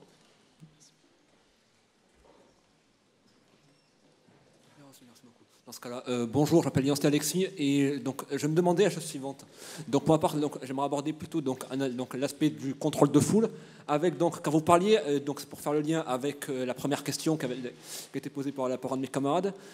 donc comme quoi il y aurait à coup, à coup sûr de, des, des, mouvements de foule et de, nombreux pour sociaux comme on, peut déjà donc, car donc déjà que donc quand on voit qu'il y a une, une relative hausse du, du prix du carburant on, se retrouve avec une manifestation de grande ampleur que le gouvernement a du mal à gérer. Alors vous qui avez côtoyé donc, les, hommes politiques actuels, est-ce que, est que, vous sauriez si d'une part ils ont une idée de, comment faire pour gérer ces mouvements de foule et d'autre part euh, donc, euh, étant, donné que vous avez dû être témoin euh, de l'évolution et de l'arrivée des, différentes générations d'hommes politiques depuis quelques années, si vous, si, vous, pensez qu'il y aurait des solutions, parce qu'étant donné que déjà en France, la, Révolution française a abouti sur donc notre roi qui se fait guillotiner, est-ce que donc ça, serait capable de finir pareil pour les responsables politiques ah. qui, seront au pouvoir à ce moment-là, sachant que ça risque probablement d'être ceux de notre génération? Merci beaucoup je ne suis pas complètement sûr que parmi tous les malheurs qui peuvent arriver à Macron, la guillotine fasse partie des plus probables. Euh, il y a euh, une somme de problèmes qui permet d'aller vers un dialogue apaisé avec des gens qu'on a appelés les gilets jaunes euh, dans, dans cette affaire-là. D'abord, il y a quand même une incapacité très forte de la classe politique à faire la pédagogie du problème. C'est-à-dire qu'aujourd'hui, ils ne sont pas capables d'en faire la pédagogie, et en fait, l'une des raisons essentielles, c'est que déjà, ils n'en savent rien parce que euh, ce que je vous ai raconté, une partie euh, significative, si vous avez bien écouté, ne se trouve pas dans le journal. Ça ne veut pas dire qu'elle n'existe pas, juste elle n'y est pas. Vous savez, j'ai mis très longtemps à comprendre que si je comprenais rien à un article du Monde, c'est pas moi qui étais con, c'était que le journaliste du Monde n'avait rien compris. Euh, parce que pendant très longtemps, je me suis dit, quand même, c'est le journal de référence. J'ai vu mon père lire ça pendant mon père physicien, etc., lire ça pendant toute ma jeunesse. donc, si je comprends pas ce qui est écrit dans l'article, c'est que je dois vraiment être con, et puis j'arrive pas à comprendre. Je suis, on m'a sélectionné pour rentrer dans une des meilleures écoles de France et j'arrive pas à comprendre ce qui est écrit dans l'article. Mais j'ai un problème. Enfin, j'ai dû y rentrer par hasard. Et j'ai mis très longtemps, très très longtemps, et ça m'a demandé quelque part une, espèce de prétention absolument insupportable de me dire non, c'est juste que le mec a rien compris, juste ça, ou qu'il est totalement orienté, biaisé, machin, etc. Euh, donc il y a une incapacité à faire la pédagogie du problème auprès de la population parce que les médias ne font pas correctement leur job, parce que l'éducation nationale ne fait pas correctement son job, soit dit en passant, euh, et parce que dans les établissements d'enseignement supérieur, je suis ravi qu'on m'ait donné l'occasion de m'exprimer devant vous. Du reste, on a fait un gros travail au Shift Project euh, pour faire l'inventaire de ce qui existe aujourd'hui. Aujourd'hui, 90% de ceux qui vous ont précédé dans cet établissement et d'autres sortent de l'enseignement supérieur sans avoir jamais eu le moindre cours obligatoire sur ce genre de sujet. Donc ils sortent de l'enseignement supérieur sans avoir bien compris comment se présentait le problème à traiter. Je ne parle pas de savoir s'il faut avoir finement, euh, c'est quoi la finance climat, on s'en fout à ce stade. Je comprends bien le problème à traiter. Donc ils ne sont pas capables de faire la pédagogie du problème. Or, quand vous n'êtes pas capable de faire la pédagogie du problème, tout effort est insupportable. C'est-à-dire que si un prof vous envoie au piquet sans vous expliquer pourquoi, je ne pense pas que vous allez trouver que c'est juste. Donc là, on dit euh, aux Gilets jaunes, on va vous augmenter le prix du carburant, on ne vous dit pas le pourquoi du comment, on ne vous dit pas c'est pour maintenir le pays en paix, on ne vous dit pas c'est parce que de toute façon il y a moins de pétrole, on ne vous dit pas comment on va alléger votre peine, on vous, vous, dit rien, on vous dit juste on va vous augmenter. C'est évident que ça allait mal se passer. Euh, du reste, euh, je l'ai écrit un certain nombre de fois. J'ai écrit en 2011 un papier dans les échos qui s'appelait Marine Le Pen, enfant du carbone. Vous pouvez le lire, il est encore sur mon site. donc c'est évident, c'était évident que ça allait mal se passer. Si on fait la pédagogie du problème, on peut très bien traiter le problème. Et je vais vous donner deux exemples. Les gilets jaunes sont souvent des ruraux. Les ruraux se, chauffent souvent au fioul. Il se trouve que dans notre pays, on a décidé de mettre 25 milliards d'euros sur de l'éolien offshore. C'est des euros qui vont être payés par vos impôts, enfin pas vous, vous n'en payez pas beaucoup, mais ceux de vos parents, les miens, euh, et ceux des gilets jaunes, soit dit en passant, puisque ça va être payé par des taxes sur le carburant. Hein. Donc le compte d'affectation spéciale de la transition énergétique est aujourd'hui essentiellement financé par des taxes sur les carburants et ça sert essentiellement à financer du PV et de l'éolien, qui ne résolvent en rien les problèmes de transport. Donc on va faire de l'éolien offshore pour 25 milliards. Euh, cet éolien offshore ne va économiser aucun gramme de CO2 dans notre pays, puisque l'électricité est essentiellement décarbonée. Ça ne va pas créer d'emplois macroéconomiquement parce que ça va plutôt avoir tendance à augmenter les importations, parce qu'il faut importer plus de composants pour faire les éoliennes qu'on importe d'uranium pour faire de l'électricité nucléaire. Euh, ça va créer des problèmes locaux euh, à n'en plus pouvoir. Euh, et j'ai dit à Édouard Philippe le jour de l'installation du Haut Conseil, moi si j'étais toi, c'est 25 milliards, je mets une croix. Donc il y a quelques antinucléaires qui vont gueuler dans le monde pendant 15 jours, très bien, grand bien leur face. Et avec ces 25 milliards, 24 parce que sinon ma division tombe pas juste, je donne 6 000 euros de primes à chaque ménage français chauffé au fioul, qui soit dit en passant sont essentiellement les gilets jaunes, pour remplacer sa chaudière à fioul par une pompe à chaleur. 6 000 euros par ménage. Je peux vous assurer que si vous faites ça, une pompe à chaleur aujourd'hui, ça coûte 10 000. Si vous faites ça et que vous faites intervenir le différentiel de prix entre le fioul et l'électricité, ils y gagnent en argent. Vous n'avez plus qu'une solution bancaire à mettre entre les deux, ils y gagnent. Pourquoi est-ce qu'ils ne l'ont pas fait? Parce que la pédagogie du problème n'a pas été faite, parce qu'eux-mêmes ne comprennent pas le problème à traiter, parce qu'eux-mêmes pensent que d'empêcher les antinucléaires de gueuler dans le monde, c'est plus important que de résoudre en pratique un problème qu'on a avec une fraction de la population qui commence à être des éjectés du pétrole. Voilà, c'est juste ça. Il y avait une solution, je viens de vous la donner. Du pognon, il y en a plein. À preuve, il y a 25 milliards, sauf qu'on ne va pas les mettre au bon endroit. Donc on a un vrai sujet aujourd'hui, j'insiste, de je tape à côté de la plaque parce que la plaque n'est pas comprise. C'est pour ça que j'ai tant insisté, je n'ai pas parlé de solution aujourd'hui, j'ai tant insisté sur la définition du problème, parce que tant que cette dernière n'est pas bien comprise, toute solution, c'est taper au hasard, et vous êtes suffisamment vieux maintenant pour savoir que quand vous tapez au hasard pour résoudre un problème, la probabilité pour vous arriver à le résoudre est quand même pas très élevée. Merci beaucoup. Euh, dernier point, je pense que c'est idiot de prendre les gens pour des cons. Donc je suis fortement convaincu du fait que de faire de la pédagogie du problème, même si ça conduit à dire aux gens vous allez en baver, c'est beaucoup plus payant que de les prendre pour des andouilles. Et je vais vous donner une expérience historique. Il se trouve que j'ai raconté exactement le même genre de discours, là, ça va chier des bulles euh, devant une réunion des syndicats de la CFDT dans une branche. Je leur ai expliqué que le pouvoir d'achat allait baisser, etc. Je me suis dit, ils vont me sortir à grands coups de pied dans le derrière. Pas du tout. Ça a été une des audiences les plus intéressées à discuter que j'ai jamais trouvées. Donc je suis fermement convaincu du fait que c'est une erreur politique fondamentale de prendre les gens pour des andouilles. Bonjour. Pourquoi cet attachement à la civilisation alors que, en plus d'être un système marqué par la culture euh, du, contrôle, qui, euh, s'il continue à se développer, ne peut que déboucher sur une impasse qui nous transformera en esclaves des robots, et, en plus qui est marqué par euh, une folie des, grandeurs délirantes appelées lubris.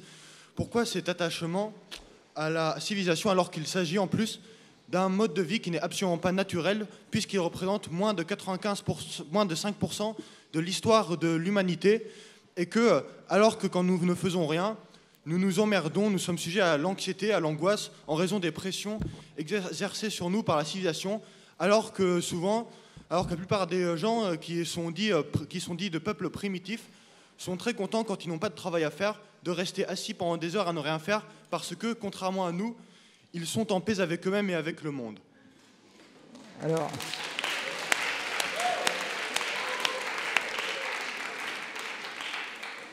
Eh bien, je n'ai pas la réponse.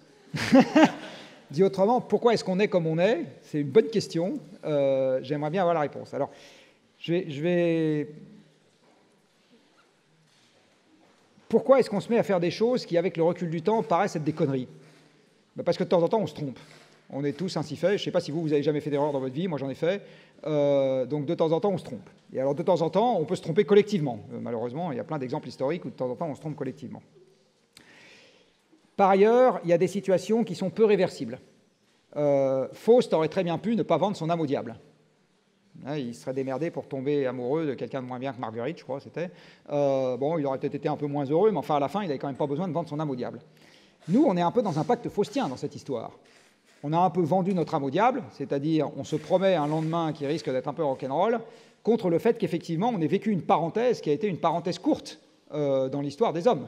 Selon les scientifiques, l'homme c'est 20 000 ans, 100 000 ans, etc. Puis là on a vécu deux siècles, euh, ça va encore durer 10, 20, 30 ans, je ne sais pas, pas deux nouveaux siècles, ça c'est sûr, euh, de, quelque chose qui est quelque part une forme de corne d'abondance qui semble n'avoir aucun inconvénient. On a plus de tout, puis on a l'impression qu'il n'y a pas d'inconvénient. les inconvénients commencent à arriver. Alors pourquoi est-ce qu'on a fait ça? Je pense qu'une des raisons, elle est biologique, tout bêtement. C'est-à-dire qu'avant d'être des animaux qui pensons réfléchir, on est des animaux, point. Donc on fait confiance à nos sens. Et nos sens, ils sont tous court-termistes. Le toucher, l'ouïe, la vue, l'odorat, euh, tout ça, c'est court-termiste. C'est la raison pour laquelle, par exemple, on a beaucoup de mal à faire comprendre ce que c'est qu'une moyenne à quelqu'un. C'est-à-dire quand vous lui parlez de la température moyenne, les gens ne comprennent pas, parce que la seule température que vous, vous êtes capable de sentir avec votre toucher, c'est la température qui fait dans cette pièce aujourd'hui. Température moyenne, vous ne la sentez pas. Donc on fait confiance à nos sens, et nos sens, ils nous ont structurés à nous comporter en mode essai-erreur. C'est-à-dire que toute l'histoire des animaux, et c'est comme ça qu'on fait l'éducation, c'est de faire des erreurs, l'essentiel du temps réversible. Quand elles ne sont pas, on meurt. Voilà, de, temps en temps, dans l'apprentissage collectif d'une population d'animaux, il y a des morts, euh, y compris chez les hommes. Euh, mais on est en mode essai-erreur. Là, on est face à des problèmes globaux qui ne se contentent pas d'un mode essai-erreur. Donc il faut qu'on arrive à s'extraire de notre biologie pour arriver à répondre positivement à la question que vous posez, et c'est vachement dur de s'extraire de sa biologie. Alors une fois que j'ai dit ça, qui est une façon de dire pourquoi, ben, j'en sais rien, ça s'est passé comme ça, puis parce qu'on est des animaux. Euh, moi j'ai une deuxième question qui me paraît plus intéressante, qui est une fois qu'on sait ce qu'on sait, comme disait l'autre, euh, qu'est-ce qu'on peut faire d'utile pour que ça se passe un peu mieux plutôt qu'un peu plus mal? Voilà, parce que admettons qu'on soit dans la merde, comme vous venez de le dire simplement, euh, eh bien, euh, qu'est-ce qu'on peut, qu'est-ce qu'on peut faire pour ce, qui, est en plus un peu simpliste, parce que cette merde a plein de bons côtés. Je ne sais pas si vous êtes très malheureux de devoir étudier à Sciences Po plutôt que de devoir aller ramasser des patates. Je ne sais pas. Euh, mais une fois qu'on... Je, vous laisse la réponse.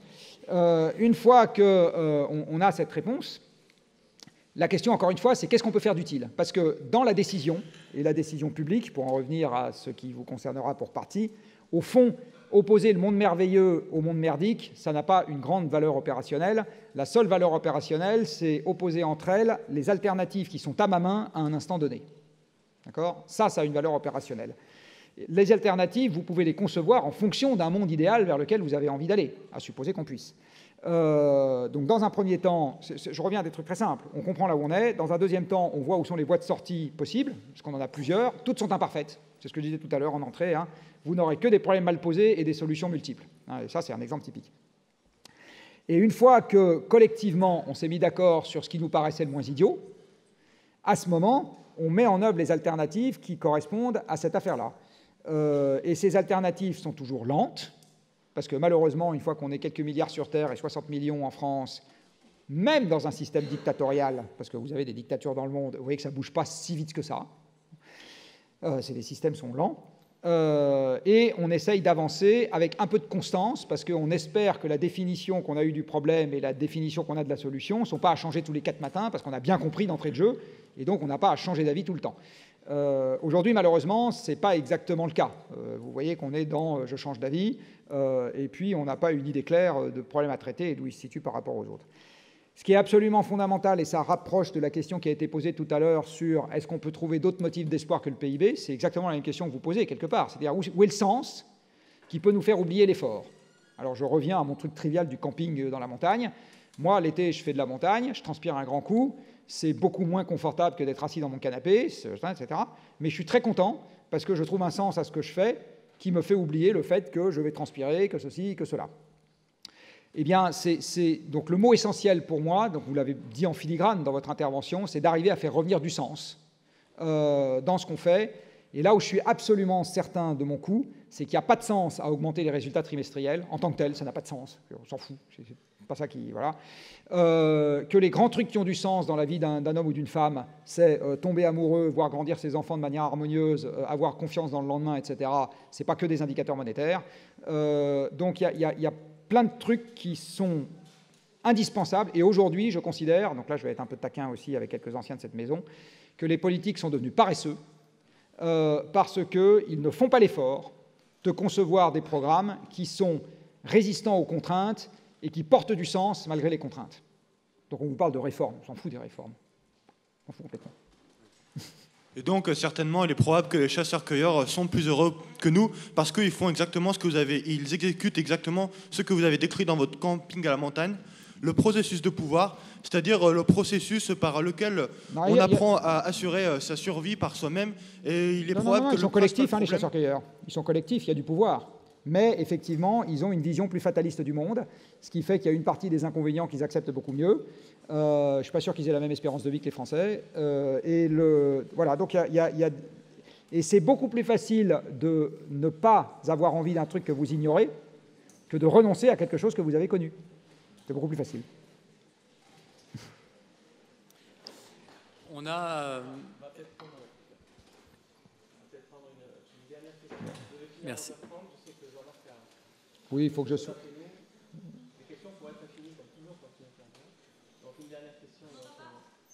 Euh, C'était une dernière question. D'accord. La question est celle de la limite physique du temps. Alors, vos amis les, journalistes nous communiquent euh, deux fois par jour l'indice euh, du CAC 40. Oui.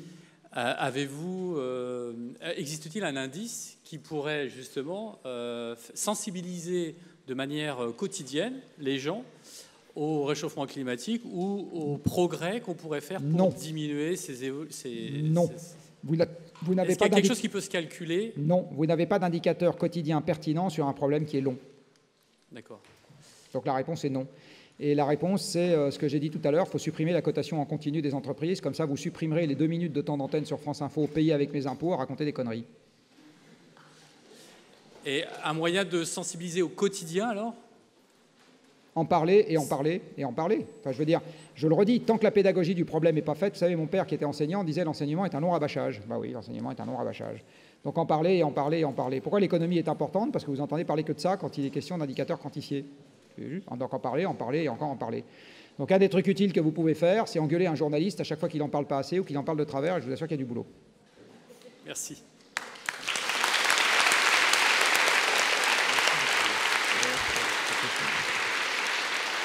Merci beaucoup. Vraiment, c'était euh, un très bon moment.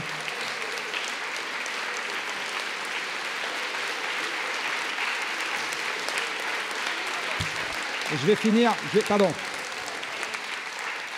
Donc je, donc je vais finir quand même en vous disant ce que je dis à mes élèves quand je termine mon cours. Bonne chance pour l'avenir.